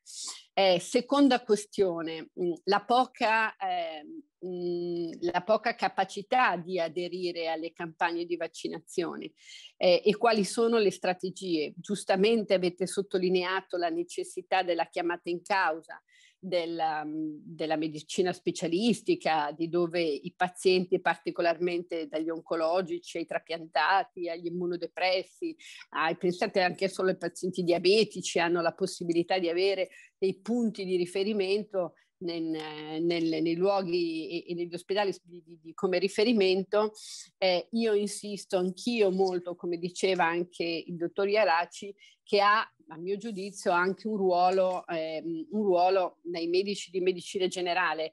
Guardate, ci sono delle azioni che sono dotate peraltro di evidenza di efficacia per aumentare le coperture vaccinali. La prima riguarda la chiamata attiva alla vaccinazione, ma che deve andare con eh, quel, quella capacità che prima sentivo dal dottor Iaraci anche di farne un programma regionale, perché poi passa da lì, un programma regionale che, eh, regionale che è in, in grado di individuare qual è eh, il, qual è la platea delle persone che dobbiamo arrivare alla chiamata diretta, il sollecito di coloro che non si presentano e la valutazione delle attività svolte e l'altro punto che è stato reso evidente eh, ehm, in, questa, in questa evidenza di efficacia è anche il feedback da parte degli operatori, dagli operatori sanitari.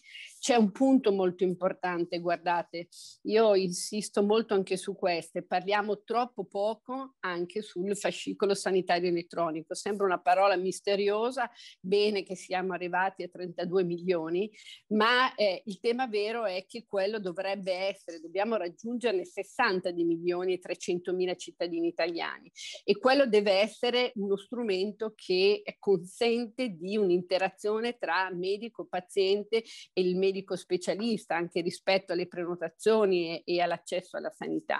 Un investimento che ancora tarda, compreso quello della cartella clinica elettronica che tutti i medici specialisti di ospedale, di ambulatorio dovrebbero avere. E ehm, soprattutto voglio anche fare un ultimo accenno al fatto che c'è la popolazione più fragile dal punto di vista socio-economico, non ha nessuna sms, non ha nessuna e sono quelli che maggiormente sono esposti alle complicanze che poi si hanno nel momento in cui non si aderiscono alle campagne vaccinali. Ha ragione il dottor Galli, il professor Galli quando diceva prima siamo stati fortunati perché paradossalmente, perché restrizione utilizzo delle mascherine ha in qualche modo attenuato l'impatto non sufficiente della campagna di vaccinazione anti-influenzale. E se oggi noi abbiamo l'opportunità di avere la possibilità di vaccinarsi contro l'herpes zoster, l'ho provato sulla pelle e spero che davvero possiamo permetterci di risparmiarlo per le conseguenze che questo comporta, a questa popolazione over 65enne che potrebbe avere un beneficio innanzitutto dal punto di vista della sua salute personale. Le vaccinazioni sono lo strumento per la copertura e la protezione della salute pubblica e eh, peraltro non dobbiamo mai dimenticarli, gli studi ce lo dicono ormai in tutte le salse, non parliamo più di sostenibilità del Servizio Sanitario Nazionale perché la pandemia ha in qualche modo, mh, come dire, mh, mh, assorbito, un po', un po', come dire, attenuato problemi che abbiamo affrontato all'inizio, almeno della, della mia, del mio arrivo a, in, in, Parlamento, ma noi sappiamo che ogni volta che investiamo in, in vaccini noi abbiamo la possibilità di avere un maggior gettito di 2 euro per un euro in termini di, di beneficio fiscale, raggiungono poi 16 per la spesa pubblica un beneficio. Guardate, c'è uno studio eh, di, del Sacro Cuore che dimostra che se fossimo in grado di arruolare 900.000 persone in più sulla vaccinazione antinfluenzale risparmieremmo 455, 450 milioni, ma non è che servono per tenerceli in tasca, si servono ancora per fare investimenti in sanità. Chiudo su un'ultimissima cosa, davvero io ho finito, perché io sono totalmente d'accordo e molto d'accordo. Il PNCAR, il piano di vaccinazione e il piano di prevenzione devono essere un tutt'uno. Non possiamo possiamo in qualche modo fare in modo che trama e ordito non si incontrino, noi sappiamo bene quanto l'investimento anche nel BNCAR abbia bisogno di arrivare a terra in modo efficiente e soprattutto in modo efficace, perché questo permetterebbe innanzitutto di poter vivere in condizioni di sicurezza negli ambienti ospedalieri, di poter fare gli interventi e di poter vivere la condizione di degenza. Sappiamo tutti che cosa accade quando in un reparto abbiamo gli, gli alert, ecco io credo che eh, migli- al miglior investimento in, ter- sul, in particolare della salute pubblica con la potenza dei vaccini e l'innovazione tecnologica non davvero, insomma io credo che, spero davvero, mi auguro che questa sia una stagione diversa e soprattutto una pianificazione e una strategia importante anche a livello centrale. Grazie, onorevole Carnevali, una stagione diversa come nelle sue parole di auspicio e anche di augurio per una politica di verifica e di controllo, come lei ha sottolineato, e una chiamata attiva alla vaccinazione di comune accordo anche con il piano regionale come appello sicuramente condiviso. E allora noi adesso, ringraziando l'onorevole Carnevali, ci abbiamo alla conclusione della nostra tavola eh, rotonda, la prima sulle innovazioni vaccinali oltre il Covid-19, con eh, il secondo nostro relatore. E ci ha raggiunto anche, la ringraziamo davvero eh, per essere qui con noi, malgrado i, i, numerosi impegni istituzionali parlamentari, la senatrice Mariolina Castellone, dodicesima commissione parlamentare sanità del Senato della Repubblica. Buongiorno, ben trovata. Buongiorno, buongiorno a tutti, buongiorno Daniel. Grazie per essere con noi, senatrice. Allora, Abbiamo ascoltato anche nei precedenti interventi, anche dal professor Galli, quanto sia strategico e importante il ruolo dell'ospedale nelle vaccinazioni del paziente fragile, dell'anziano, che è il focus oggi all'interno di questo nostro incontro con le speculazioni che ognuno può portare dalle diverse esperienze. Anche voi decisori politici, sicuramente avrete tratto delle indicazioni importanti relativamente a un tema che fa parte non solo del nostro presente, ma soprattutto del nostro futuro. Che indicazioni lei ne ha tratto, senatrice? Io vorrei fare innanzitutto una premessa, se mi permetti Daniel. Finalmente la sanità è tornata al centro dell'agenda politica. Questo lo dobbiamo dire perché veniamo da un decennio di continui tagli che hanno depauperato in particolare il servizio sanitario pubblico di infrastrutture, di mezzi, di risorse umane. Sono stati tagliati nell'ultimo decennio circa 37 miliardi di euro. Adesso, con questa pandemia, siamo tornati ad investire. Ad oggi abbiamo investito quasi 20 miliardi in sanità ed altri 20 miliardi di investimenti, quasi 20 miliardi, sono previsti all'interno del Piano Nazionale di Ripresa e Resilienza. E io ogni volta che mi dicono quali sono i pilastri strategici, dico sempre che il punto di partenza deve essere la prevenzione e nella prevenzione primaria chiaramente rientra appieno la profilassi vaccinale, perché in medicina in generale l'arma più potente che abbiamo è quella di prevenire l'insorgenza delle malattie più che curare i sintomi e poi in particolare le complicanze quando si tratta soprattutto di, di soggetti fragili. Allora, da un punto di vista proprio di eh, campagne no? di prevenzione, risulta fondamentale anche riformare questo disegno della sanità che sarà anche il nostro sistema con un'educazione, una sensibilizzazione, ma qui il nostro focus è sugli adulti e i fragili, quindi anche sugli anziani, adulti, fragili, anziani, quindi categorie ben precise. In tal senso, a che cosa siete chiamati anche voi decisori politici nel esaminare queste categorie e nel portare anche sempre una più massiva e concreta conoscenza, divulgazione, formazione sull'importanza delle campagne vaccinali? Io ritengo che il nostro ruolo fondamentale sia quello di ehm, trasmettere innanzitutto fiducia ai nostri cittadini. In questo momento l'adesione alla campagna vaccinale contro il coronavirus è molto alta ed è fondamentale mantenere una linea chiara di, di comunicazione, una trasparenza anche in quello che viene comunicato ai cittadini perché non possiamo permetterci di perdere questa, uh, uh, questo grande senso di fiducia che in questo momento c'è nei confronti di un vaccino e in generale della prevenzione.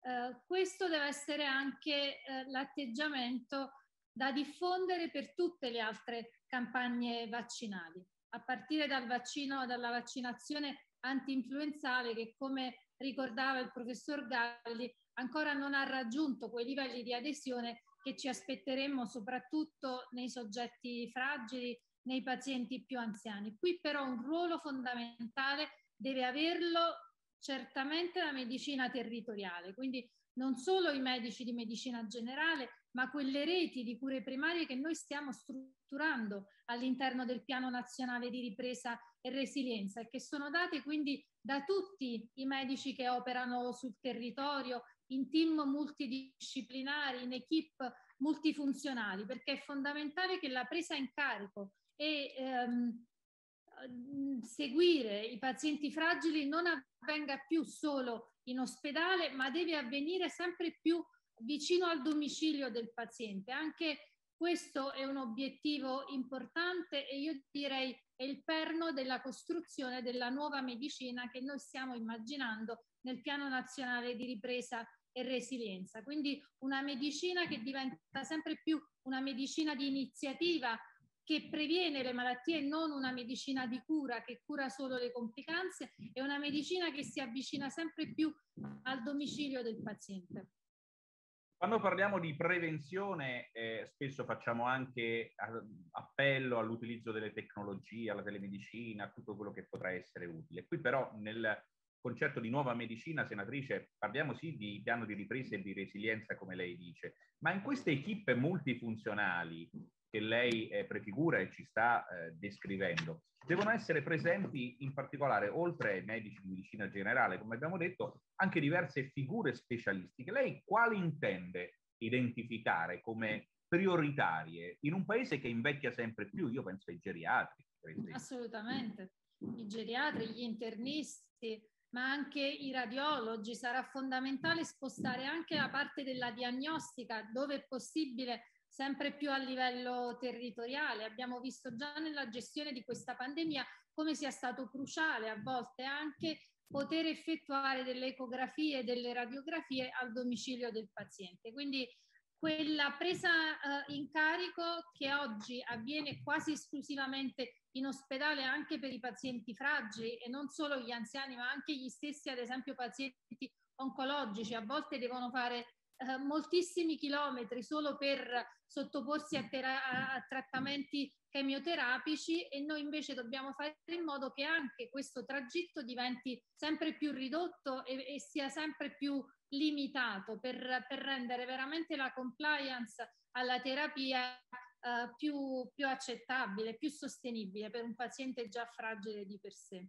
In conclusione, senatrice, il lavoro anche che ha, illustrato il professor Galli è stato un lavoro per corti, no? su dati anche recenti delle ultime settimane. In queste corti abbiamo visto che le varie sezioni per anni sono davvero molto ben identificate, quindi abbiamo pazienti dai 60 ai 70 anni, dai 70 agli 80 anni, da, oltre gli 80 anni. Ecco, come tutelare costoro con, bene, con, con bisogni diversi e con necessità anche e aspirazioni eh, diverse nel dettato costituzionale, quindi dell'articolo 32 che deve tutelare la salute per tutti i cittadini. Assolutamente, c'è bisogno di piani terapeutici che siano sempre più individuali, che siano divisi per fasce di rischio, per fasce di popolazione. Questa è la medicina che noi dobbiamo immaginare, una medicina sempre più personalizzata e certamente quello l'obiettivo eh, in cui dobbiamo continuare ad investire. Grazie allora alla senatrice Mariolina Castellone per eh, la sua partecipazione, la ringrazio e le auguro buon proseguimento. Naturalmente se vuole restare con noi la, è molto gradita la sua eh, partecipazione ancora e comunque torneremo a trattare insieme anche di questi temi. Noi proseguiamo intanto con i, i nostri relatori. Di nuovo, buon lavoro. Grazie. Eh, noi proseguiamo infatti con eh, i nostri eh, relatori. Diamo infatti inizio ringraziando la senatrice Castellone e anche gli altri parlamentari che hanno partecipato a questo nostro incontro alla tavola rotonda vaccinazione nell'adulto, le raccomandazioni della SIMIT. E allora saluto i clinici per un punto di vista che qui è più medico specialistico eh, rispetto a fino a quanto fatto ora. Eh, saluto il presidente della SIMIT, il dottor Marcello Tavio, il professor Massimo Andreoni, il professor Andrea Gori, la dottoressa Silvia Nozza, la professoressa Loredana Sarmati e la professoressa Laura Sticchi che animeranno questa nostra tavola rotonda. E allora, Presidente Tavio, direttore malattie infettive, ospedali riuniti di Ancona, soprattutto qui presidente anche della Società Italiana di Malattie Infettive che ha promosso questa nostra importante occasione di confronto. Buongiorno intanto e ben trovato. Buongiorno a lei e a tutti.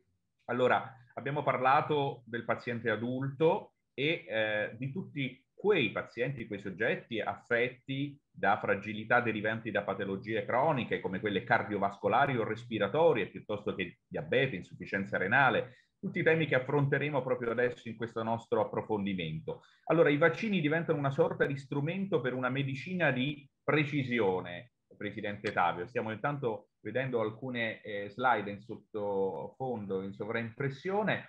Eh, il significato di questo consensus promosso dalla Simite, a cui ha dato già un ampio risalto il professor Andreoni, come possiamo da un punto di vista anche eh, sempre più preciso, eh, contornarlo, come possiamo precisarlo e focalizzarlo. Lei tra l'altro eh, si è occupato all'interno di, questo, di, questa materia di un'area relativa al paziente eh, pneumologico.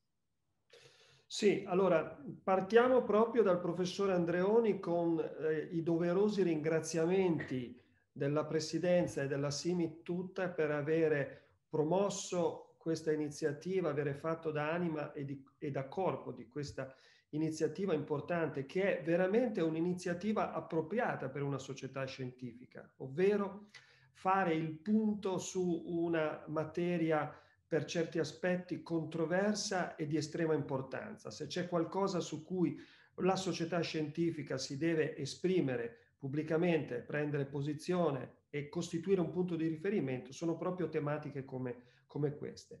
Le dirò che mi ha fatto molto piacere sentire eh, da Gianni Rezza testualmente, mi sono segnate le parole, il ruolo di Simit come propulsore eh, eh, di iniziative che le istituzioni possono raccogliere, eh, diciamo, principio che è stato anche eh, sfiorato dai, dai, politici che sono intervenuti, in particolare la senatrice Carnevali, mi fa molto piacere questo perché c'è un bisogno estremo di stabilire dei rapporti più stretti tra le istituzioni e le società scientifiche, cioè le, eh, eh, quegli organismi che in qualche modo trovano una mediazione al proprio interno sulle tante posizioni che è possibile assumere su un dato, una data problematica. Quindi anche questo mi sembra un punto importante e questa iniziativa eh, eh, sulle vaccinazioni dell'adulto credo che sia l'emblema di, di come si possano incontrare istituzioni e società scientifiche. Una terza cosa che voglio dire a proposito della struttura di questo, di questo lavoro che è stato fatto, che mi sembra importante, ovvero eh, si è già detto prima, ci sono le vaccinazioni dell'obbligo sulle quali nessuno discute, riguardano il bambino, c'è un calendario vaccinale che ci invidia tutto il mondo, benissimo, ma c'è una vaccinazione dell'obbligo morale, tra virgolette, lo metto tra virgolette, che riguarda proprio l'adulto, perché in questo caso, essendo un obbligo morale, è fondamentale convincere l'interlocutore. In questo senso sono state costruite proprio queste raccomandazioni da parte della SIEMI, che devono servire al medico accanto, accanto al letto del paziente o davanti a lui in ambulatorio per eh, discutere eh, le ragioni della vaccinazione là dove non c'è un obbligo, ma c'è un obbligo morale, tra virgolette, verso la società nel far circolare il meno possibile gli agenti patogeni e c'è una necessità di protezione del singolo che va sempre attentamente eh, declinata perché le persone, non dimentichiamoci, partiamo da situazioni di, in cui i Novax hanno una voce molto forte e anche se adesso è molto attenuata dall'emergenza del Covid, in realtà molte vaccinazioni sono afflitte dalla, eh, diciamo, dal, da, dal virus, della, chiamiamolo così, del, del Novax e quindi la capacità di spiegare puntualmente il vantaggio della vaccinazione in ogni singola situazione è una cosa veramente, veramente fondamentale. Quindi in questo senso, come presidente della Simit, sono particolarmente contento della struttura che è stata data a questo, a questo lavoro, che viene incontro alle esigenze del medico nel momento in cui si relaziona con il paziente.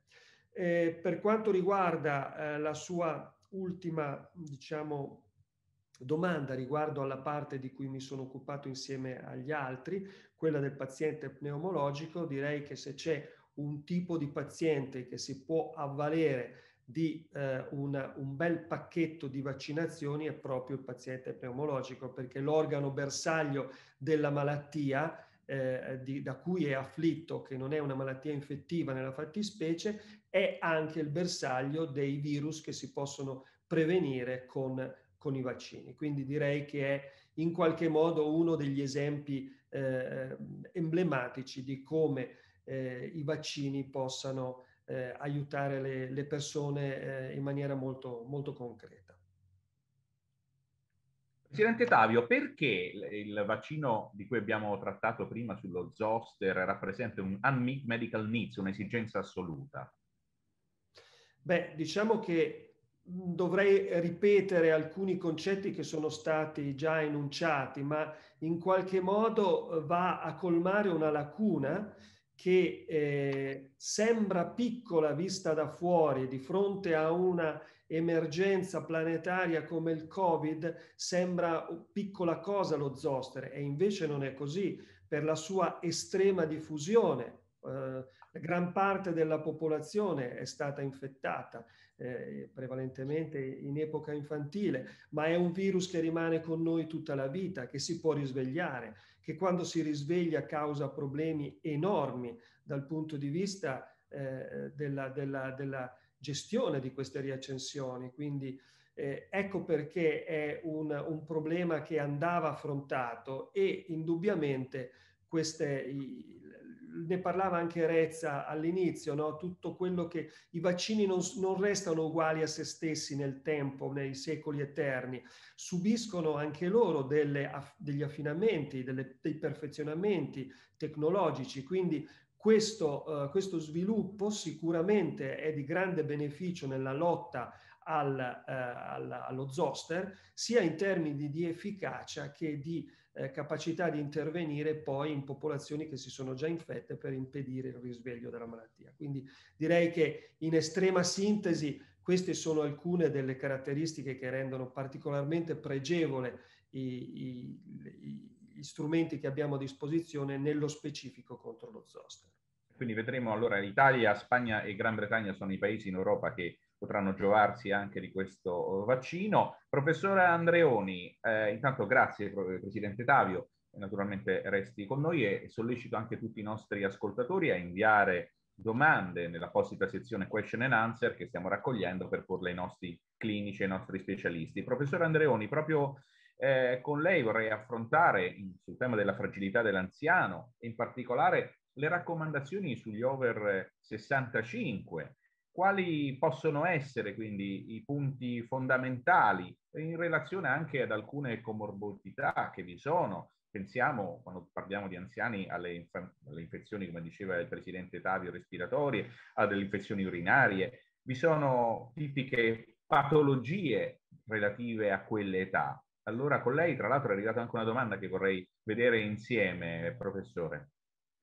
Sì, dunque, ma diciamo, il Covid ha fatto una scoperta, diciamo, che per noi era un dato di fatto certo, cioè che le, le persone più anziane sono le persone più fragili, cioè sono le persone che possono morire con più facilità dovuto al Covid.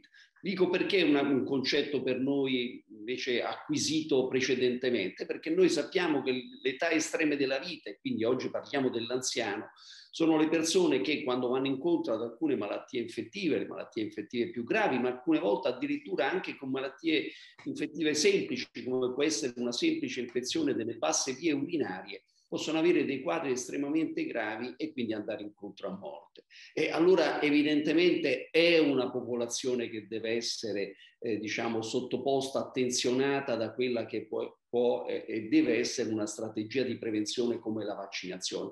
Quindi non è certamente strano che noi ci siamo focalizzati in modo particolare per, su queste persone, perché sono le persone che noi vediamo morire appunto di polmonite, morire di sepsi per diciamo, infezioni eh, che partono dai siti più diversi del corpo umano. E, e come dimostra la, la, slide che noi vediamo di sottofondo, nel paziente anziano soprattutto abbiamo riconosciuto alcune patologie che possono e che devono essere prevenute, perché ovviamente l'influenza, la, la malattia pneumococcica lo sono, ma oggi parliamo in maniera specifica eh, di eh, herpes zoster, beh, eh, diciamo questo ehm, lo, abbiamo detto, l'abbiamo discusso, ma no, si ritiene che circa il 90% della popolazione sia infettata dal virus varicella zoster e che l'80% circa della popolazione possa andare incontro nella sua vita ad almeno una ricorrenza da herpes zoster.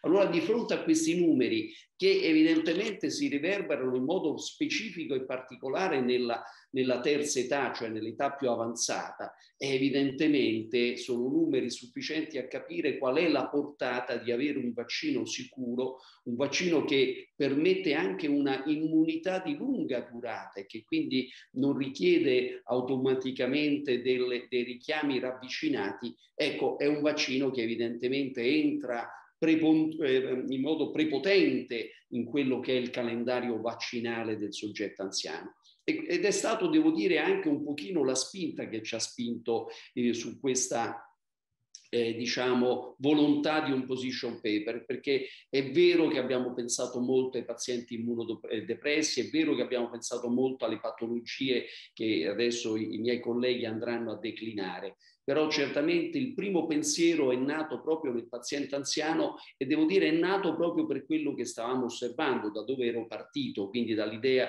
che stiamo vedendo oggi, che tocchiamo oggi con mano, di come il paziente anziano di fronte a un fatto pandemico, epidemico, sia particolarmente sensibile. Però ricordo a tutti eh, che sono i pazienti per cui noi ogni anno pro- proponiamo la campagna vaccinale per l'influenza, cioè la fragilità di questi pazienti. Noi l'abbiamo sempre sottolineata e in qualsiasi circostanza l'abbiamo ricordata, diciamo. E quindi credo che sia la popolazione nella quale, sulla quale oltretutto, diciamo, e, e chiudo, è, evidentemente si è investito anche di più, no? perché la popolazione anziana evidentemente è quella che ha tratto maggior beneficio di quelli che sono stati gli interventi di sanità pubblica. E quindi vedere perdere una persona eh, che, che, è stata ben curata dalla sanità ed è stata portata ad una eh, età avanzata per una malattia per punto eh, prevedibile, prevenibile, oppure eh, vedere una persona con grandi sofferenze come l'herpes zoster può dare, ricordo a tutti poi che l'herpes zoster non è solo nevralgia post-zosteriana, ma l'herpes zoster ha una serie di complicanze che possono essere anche estremamente gravi, addirittura mortali. Ecco, devo dire che di fronte a questo evidentemente eh, proporre un calendario per questa tipologia di pazienti ci è sembrato un obbligo eh, etico, deontologico e civico. Professore, eh, nel frattempo stanno affluendo anche alcune domande, una gliela giro subito. Per un paziente ultra ottantenne ci chiedono, affetto dalla sindrome di Guillain-Barré, come ci si deve comportare con i vaccini in particolare? Ma guardi, per, per i vaccini, eh, diciamo in, in, in, senso generale... Covid e altri c'è scritto. Perfetto. Eh, allora voglio dire, non ci sono controindicazioni particolari, le controindicazioni vere e uniche sono quelle di avere un'ipersensibilità a quelli che sono gli eccipienti del vaccino. Capire se uno è allergico o non allergico a un eccipiente del vaccino è abbastanza complicato. Normalmente una persona che ha fatto vaccinazioni nella propria vita può andare tranquillamente a vaccinarsi. Certo, la malattia di Guillain-Barré è una malattia, in realtà è una sindrome, no? quindi nel concetto di sindrome c'è la possibile eziologia variegata, quindi sono quelle malattie che possono riconoscere diverse cause. Tra le diverse cause c'è anche la vaccinazione, diciamo. Quindi bisognerebbe conoscere eh, qual è stata la causa che ha determinato la sindrome di Guillain-Barré in questa persona. Se non è stata una vaccinazione, che come dicevo la può determinare, io direi che non ha nessuna particolare controindicazione ad essere vaccinato per eh, diciamo, il Covid e per altre malattie. Grazie professor Andreoni. Introduco allora il professor Andrea Gori, direttore unità operativa complesse e malattie infettive, Fondazioni IRCCS Cagranda, ospedale maggiore policlinico di Milano. Buongiorno, ben ritrovato. Professor Gori, ci sente? Vediamo se attiva il microfono il professor Gori. Professore? Allora, intanto che la... Eccomi. Eccolo, eccolo. Ecco, eccolo qua. Buongiorno. A trovare il microfono. Ecco, ben ritrovato intanto e grazie per essere con noi, professore. Buongiorno. Senta, con lei volevamo approfondire alcuni temi. Eh, ne abbiamo accennato all'inizio del nostro eh, incontro di quest'oggi. Abbiamo parlato di fragilità, di pazienti fragili e di pazienti immunocompromessi. Con lei volevamo analizzare da un punto di vista eh, pratico e anche naturalmente sulla base scientifica chi siano costoro, quali sono se godano meno di vantaggi. Per esempio, questa eh, categoria può fare tutti i vaccini o soltanto alcuni? E in, par- in particolare c'è un, un tema che è fondamentale affrontare, quanto sia importante anche screenare i pazienti immunocompromessi. Ci aiuta allora, a capire.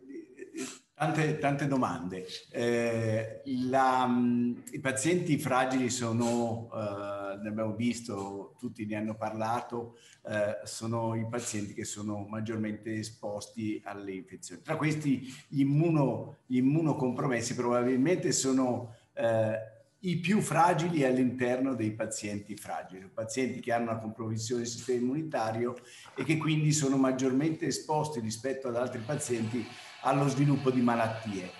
Tra questi eh, ne abbiamo di diverse, di diverse entità, cioè c'è un ampio spazio di pazienti immunocompromessi che, che si differenzia molto a seconda di quella che è l'origine dell'immunodepressione.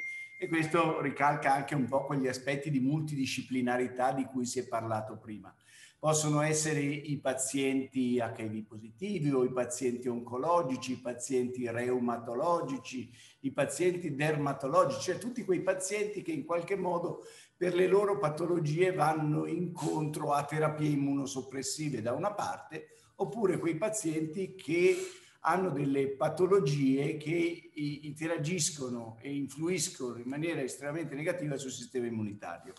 Come detto, su questi pazienti occorre eh, occorre ottimizzare quelli che sono i processi di prevenzione, per cui sono sicuramente i, i pazienti che eh, più di altri probabilmente hanno bisogno di schemi eh, vaccinali ben precisi. Eh, mi ricollego all'ultima domanda, che era eh, l'importanza di pensare a questi pazienti all'interno di un loro programma. Pazienti che devono iniziare una chemioterapia hanno momenti in cui l'immunosoppressione non è particolarmente marcata e momenti in cui invece l'immunosoppressione è molto profonda. Allora in questo caso se noi eh, utilizziamo il timing corretto per la vaccinazione riusciamo ad avere, eh, a ottimizzare l'effetto della vaccinazione. Quindi è importante come nell'approccio multidisciplinare si arrivi a programmare delle schedule vaccinali che siano ottimali per quella che è l'efficacia del vaccino. Rispetto invece eh, a quello che è la possibilità di somministrare a questi pazienti tutte le tipologie di vaccino, anche qui c'è da fare una specifica. Questi pazienti, più delle volte, soprattutto quelli che hanno un'immunità estremamente compromessa, non possono, eh, non, a questi pazienti non possono essere somministrati vaccini vivi attenuati si è parlato dello zoster, lo zoster è uno degli esempi classici dove finora abbiamo avuto a disposizione uh, un, vaccino, un vaccino vivo attenuato. Con il, la disponibilità del nuovo vaccino questo problema viene a, a superarsi. Quindi per assurdo, per i vaccini vivi attenuati, questi non possono essere dati alle persone che particolarmente gioverebbero dall'avere invece una, una, una vaccinazione efficace. Quindi attenzione anche alle tipologie di vaccino, non tutti i vaccini possono essere eh, utilizzati.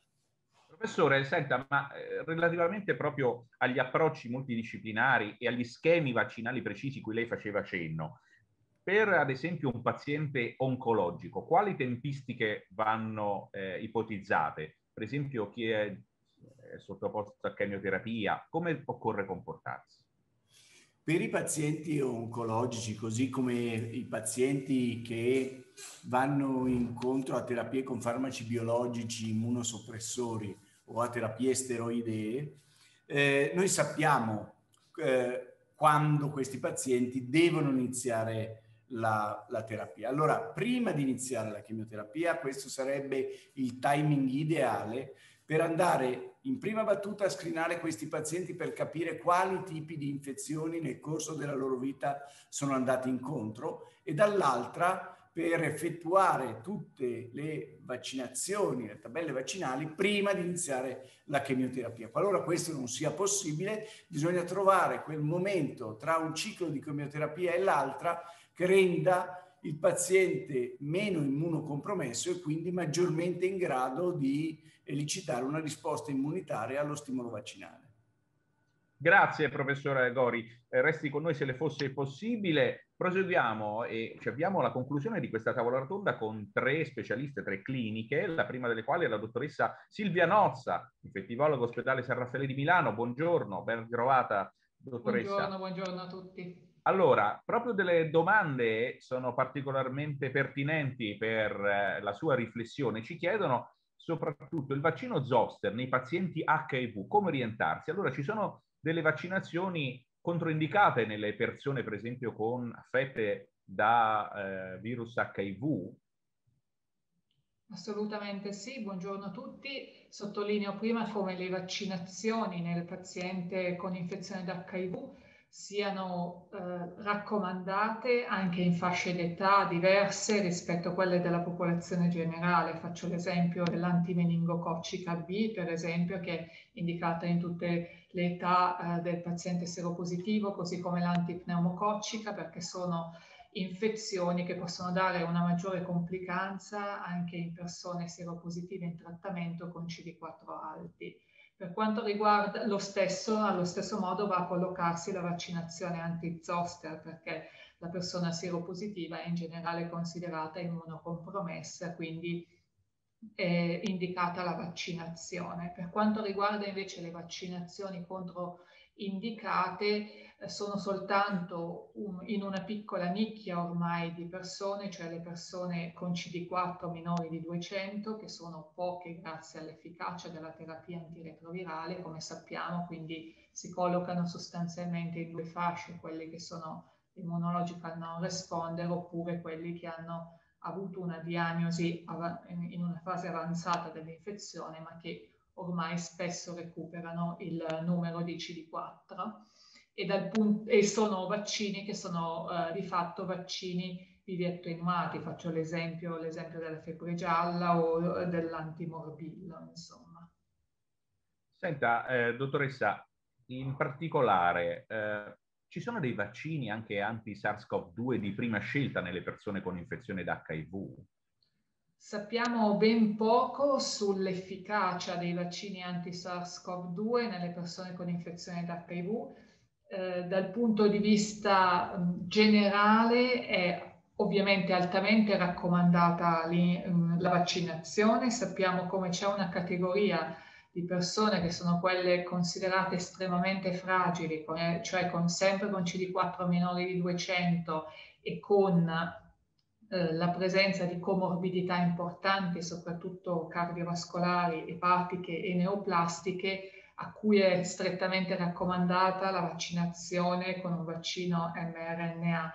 Per quanto riguarda invece l'altra fascia di soggetti eh, con CD4 maggiori di 200 eh, non si sa bene ancora la risposta, per cui cautelativamente molti centri ospedalieri stanno comunque utilizzando eh, i vaccini a mRNA. Non c'è comunque, questo è importante da dire, nessuna controindicazione dal punto di vista della safety per tutti i tipi di vaccinazioni nei nostri soggetti seropositivi, quindi anche per quanto riguarda i vaccini con adenovirus.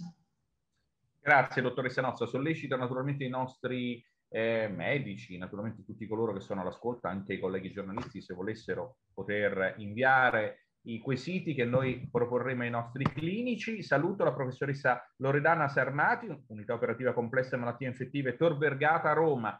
Buongiorno e ben trovata professoressa Sarmati. Buongiorno, ciao Con lei, buongiorno. Con lei parliamo anche di gravidanza e vaccini. Quali sono sicurezze e indicazioni su questo tema di cui lei, lei ha curato il consenso? Sì, Beh, la gravidanza sicuramente non è una condizione di malattia, però è una condizione di diciamo, relativa fragilità sia della donna, di due soggetti, la donna e il bambino.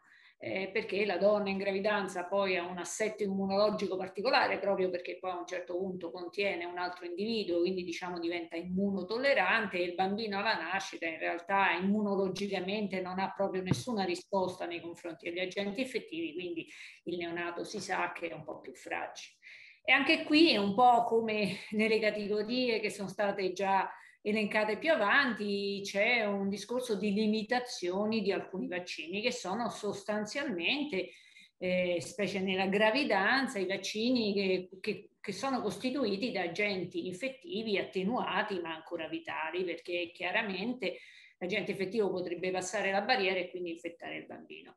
Tuttavia la gravidanza non è solo il momento della gravidanza, ma anche periodi precedenti alla gravidanza e successivi e allora una donna che magari ha in aria di voler fare un figlio potrebbe invece scrinarsi verso le patologie che sono poi quelle esantematiche, la rosodia, il morbillo, la varicella, verso cui poi sono prodotti quei vaccini a virus attenuato e in realtà vaccinarsi prima così da, diciamo, da rendersi protetta durante il periodo della gravidanza, che invece è un periodo in cui poi i vaccini a virus attenuati non si possono fare. Quindi in tal senso, eh, in questo clima di fragilità, eh, quali indicazioni ci sono per le donne in gravidanza? Allora, diciamo l'indicazione in una donna che volesse intraprendere una gravidanza è proprio quella di considerare la gravidanza come un momento particolare, perché non riguarda solo lei, ma riguarda anche il bambino che poi nascerà e che porterà in grembo per un periodo lungo. E quindi c'è un momento in cui, se non efficacemente protetta, lei stessa corre dei rischi perché stranamente ma in gravidanza appunto per questa immunotolleranza poi la donna può fare in occasione anche di malattie banali come l'influenza per dire patologie più gravi. Per dire siamo in epoca Covid, si sa che il Covid preso in gravidanza, insomma, corre, la donna in gravidanza con il Covid corre qualche rischio in più che non fuori da, dal, dall'infezione stessa. Quindi la gravidanza in sé è un momento delicato, diciamo, da un punto di vista infettivo, sia per la mamma che per il bambino. E, e quindi dic- abbiamo dei limiti a usare alcuni vaccini, ma altri li possiamo usare con finalità di protezione della mamma, tipo il vaccino per l'influenza, praticamente è, po- è possibile farlo per tutta la gravidanza, e alcuni altri vaccini che non sono che diciamo che contengono degli antigeni, degli stimoli non infettanti, il tetano, la pertosse che proteggerebbe il bambino, possa essere fatti con la finalità poi in realtà di passare quelle immunoglobuline materne al prodotto del concepimento e quindi rendere il neonato in quei primi tre mesi quando è fuori dalle vaccinazioni in realtà protetto. Tra l'altro proprio in queste scorse ore abbiamo avuto un esempio di una eh, gestante che ha dato la luce prima del tempo, circa sono 9-10 settimane, eh, da quanto hanno riportato anche i colleghi, una, un bimbo che eh, pesa poco più di un chilo e lo hanno fatto per salvare naturalmente sia il bambino, perché la mamma doveva, essendo affetta da Covid, affrontare un certo tipo di terapie, quindi è un tema quanto mai questo attuale. Grazie professoressa Sarmati intanto anche per questo contributo, resti con noi perché cerchiamo di fare poi una resume di tutto quello che ci siamo detti. Intanto introduco la professoressa Laura Sticchi, Dipartimento Scienze della Salute, Università degli Studi Genova, Policlinico San Martino. Ben trovata, grazie per essere con noi professoressa. A lei, buongiorno a lei, buongiorno a tutti. Allora, perché sono importanti le vaccinazioni nei pazienti anche con malattie renale e epatica cronica? Ecco, lei parliamo anche del, della ragione delle vaccinazioni nei pazienti con epatopatie. Sì, in generale, un po' come già emerso durante questa tavola rotonda, le vaccinazioni rappresentano uno strumento cruciale nella gestione dei pazienti con malattia cronica, magari anche in trattamento con immunosoppressori, quindi incline a infezioni che potrebbero aggravare il loro quadro clinico di base. Ad esempio, le infezioni sono riconosciute come una delle cause più comuni di ospedalizzazione e di morte nei pazienti con malattia eh, renale cronica in stadio avanzato, dopo vabbè, la malattia cardiovascolare che in questi pazienti è la più importante. Così come dalla letteratura sappiamo che rispetto alla popolazione generale eh, nei pazienti in dialisi la mortalità correlata a complicanze settiche è di 100-300 volte superiore. Quindi perché è importante vaccinare? Perché eh, anche qui con il supporto ormai dei, dei, dati scientifici, della letteratura scientifica, sappiamo che la vaccinazione contro l'epatite B ha migliorato il profilo di sopravvivenza nei pazienti in dialisi, e anche la stessa vaccinazione antinfluenzale, che è già stata citata più volte oggi anche nei suoi limiti relativamente al profilo di efficacia, nei pazienti in dialisi o con insufficienza renale avanzata in grado di ridurre le polmoniti di influenza, l'insufficienza respiratoria, la degenza nelle terapie intensive. Anche i pazienti con eh, malattia epatica cronica, mi riferisco soprattutto ai pazienti con cirrosi, con neoplasie epatobiliari, i pazienti candidati a trapianto di fegato o in terapia immunosoppressiva dopo trapianto, ebbene, sono più vulnerabili di per sé alle infezioni, anche se poi ovviamente il rischio individuale eh, varia e dipende chiaramente dalle, dall'eziologia di base della malattia epatica, dall'eventuale presenza di altre comorbosità, di eventuali trattamenti e dal livello di eh, scompenso epatico. C'è un punto importante secondo me da sottolineare, e cioè che la capacità di rispondere alle vaccinazioni in questi pazienti varia con il grado di scompenso epatico e di conseguenza i mh, pazienti con un quadro clinico più grave in realtà, e che quindi necessiterebbero maggiormente delle, delle vaccinazioni, in realtà hanno meno probabilità, meno chance di rispondere all'immunizzazione. Quindi di fatto il percorso vaccinale dovrebbe iniziare prima di un'eventuale immunosoppressione programmata o comunque prima dell'inizio della fibrosi avanzata e della cirrosi, laddove questo sia possibile ovviamente. E questo discorso vale anche per i pazienti in stadio avanzato di malattia renale cronica. Quindi diciamo che la prevenzione vaccinale indubbiamente rappresenta una parte essenziale eh, dei pazienti, nella gestione dei pazienti cronici e poiché l'efficacia vaccinale varia con il grado di malattia e i pazienti con un quadro clinico più grave rispondono meno efficacemente, è importante eh, promuovere la vaccinazione il prima possibile o comunque all'inizio, nelle, nelle fasi iniziali del corso della malattia di base. Quindi fermo restando il criterio temporale a cui lei fa riferimento, qual è la strategia migliore che lei intravede per sensibilizzare e raggiungere questi pazienti fragili cui facciamo cenno con lei? Guarda, in questo senso noi abbiamo un documento di riferimento che è il Piano Nazionale in Prevenzione Vaccinale, questo stabilisce criteri uniformi e un'offerta comune su tutto il territorio nazionale, assegnando poi ovviamente alle regioni il compito di implementare l'offerta locale. Eh, introduttivamente il professor Rezza ricordava che indubbiamente eh, l'attuale versione, quella che è stata prorogata fino alla fine di quest'anno, è un'offerta piuttosto generosa che coinvolge tutte le età della vita, non si limita più eh, alle, alle età evolutive e se avete presente lo schema del, del documento, in fondo vedrete che c'è una colonna dedicata alle vaccinazioni nei pazienti a rischio. Questo non vuol dire che precedentemente ovviamente non venissero considerate le vaccinazioni nei pazienti a rischio, ma indubbiamente questa diciamo ultima versione, quella attualmente vigente, eh, dedica maggior spazio e maggior dignità. Poi però le raccomandazioni del Ministero devono eh, tradursi in un'offerta contestualizzata nelle varie realtà. Noi abbiamo l'obiettivo di raggiungere questi pazienti, ma questi pazienti devono essere accompagnati all'interno del sistema.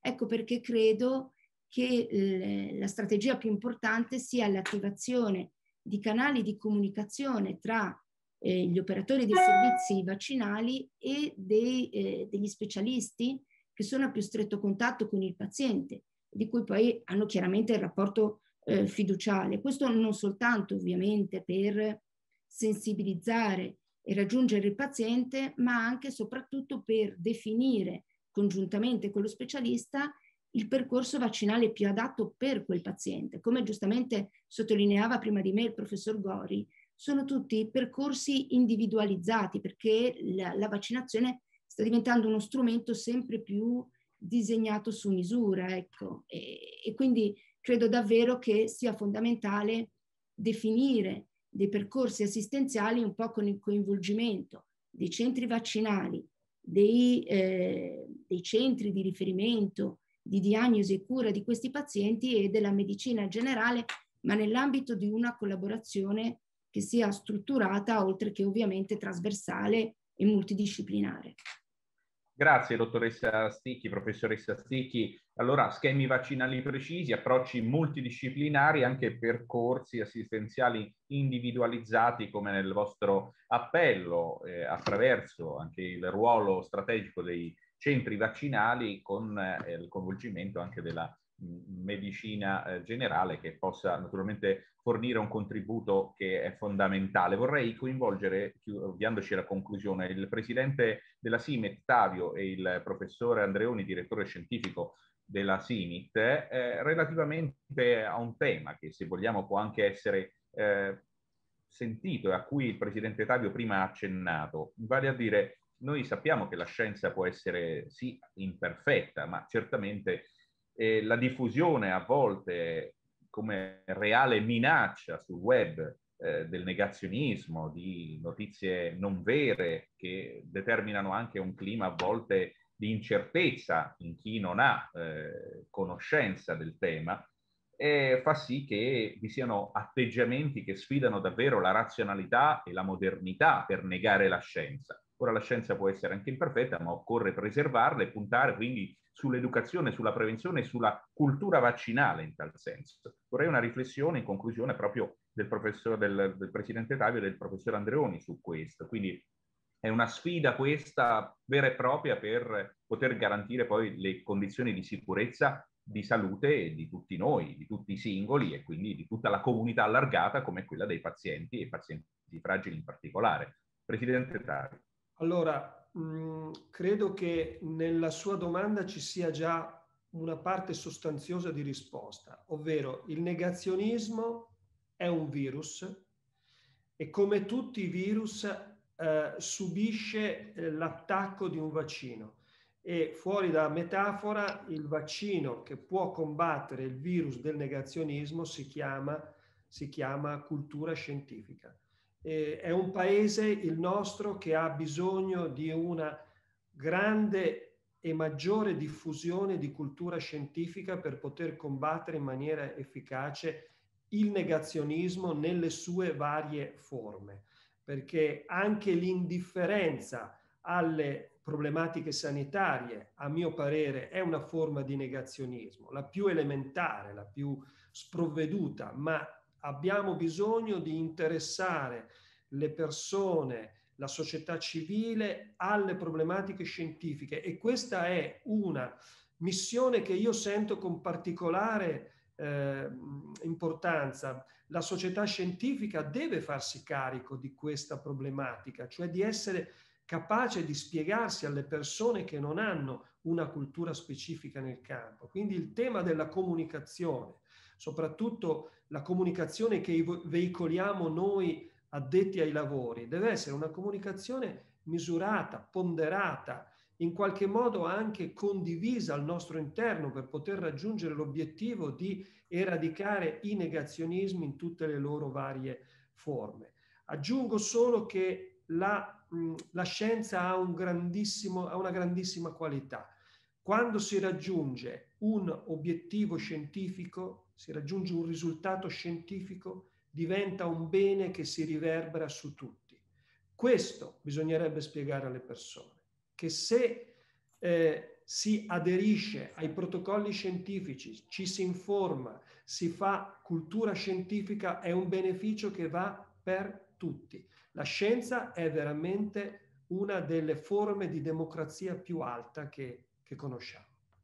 Quindi cultura scientifica, professor Andreoni, secondo questo appello anche del presidente Tavio, volta a sottolineare come anche questo consensus sia una forma di cultura scientifica senza eh, puntare mai all'allarmismo, ma con una coscienza di quello che si va a dire anche a persone che non siano addetti ai lavori.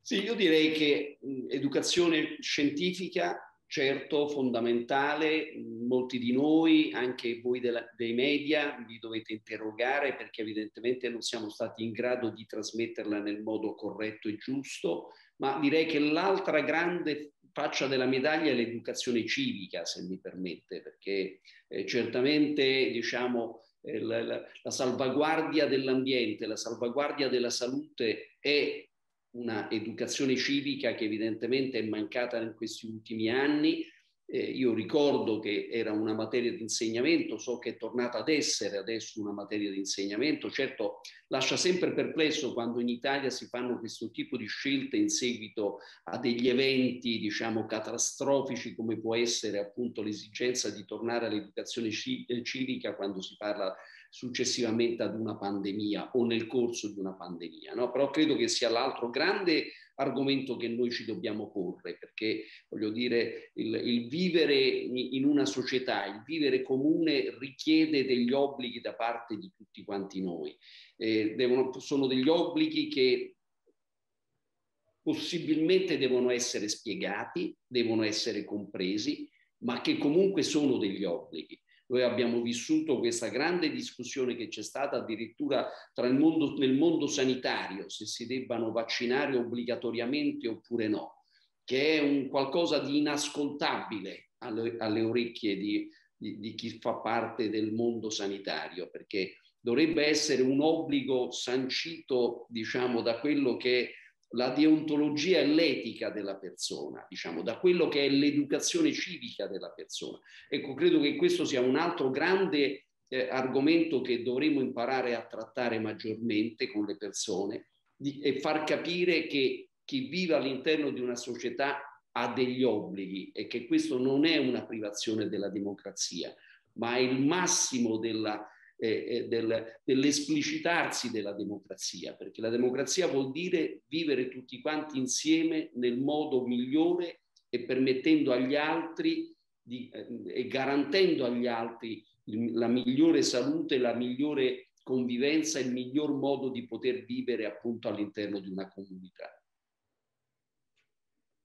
Grazie professore Andreoni. Allora l'educazione civica, deontologia scientifica anche come ulteriori spunti sui quali poter riflettere anche dinanzi a quello che sono i temi che l'attualità ci propone e la cronaca quotidianamente. Abbiamo cercato quest'oggi quindi di parlare di prevenzione, di unità di intenti, di una scienza che ci propone davvero un progresso importante grazie al quale possiamo considerare in un'ottica di salute globale di poter eh, prendere in carico una categoria ampia come quella dei pazienti fragili, dei pazienti, abbiamo visto immunocompromessi, dei pazienti anziani, tante diverse sfaccettature di una stessa eh, medaglia che abbiamo cercato di eh, sviscerare insieme e di tutto questo io oh, sono grato alla SIMIT, alla Società Italiana Malattie Infettive, che eh, quest'oggi quindi ha proposto questa consensus e supportata con l'organizzazione di Aristea e con il contributo non condizionato di GSK. Io vi ringrazio davvero, ringrazio i colleghi giornalisti, tutti coloro che si sono collegati quest'oggi, medici e tutti i vari stakeholder, parlamentari, politici, decisori, eh, rappresentanti di governo, che hanno mandato anche messaggi a supporto di questa iniziativa. Vi ringrazio davvero per la vostra partecipazione e l'appuntamento è per una prossima occasione naturalmente per parlare di temi scientifici di alto valore. Buon proseguimento a tutti e buona fine settimana. Grazie. Arrivederci. Grazie. Arrivederci. Arrivederci a te. Buongiorno a tutti.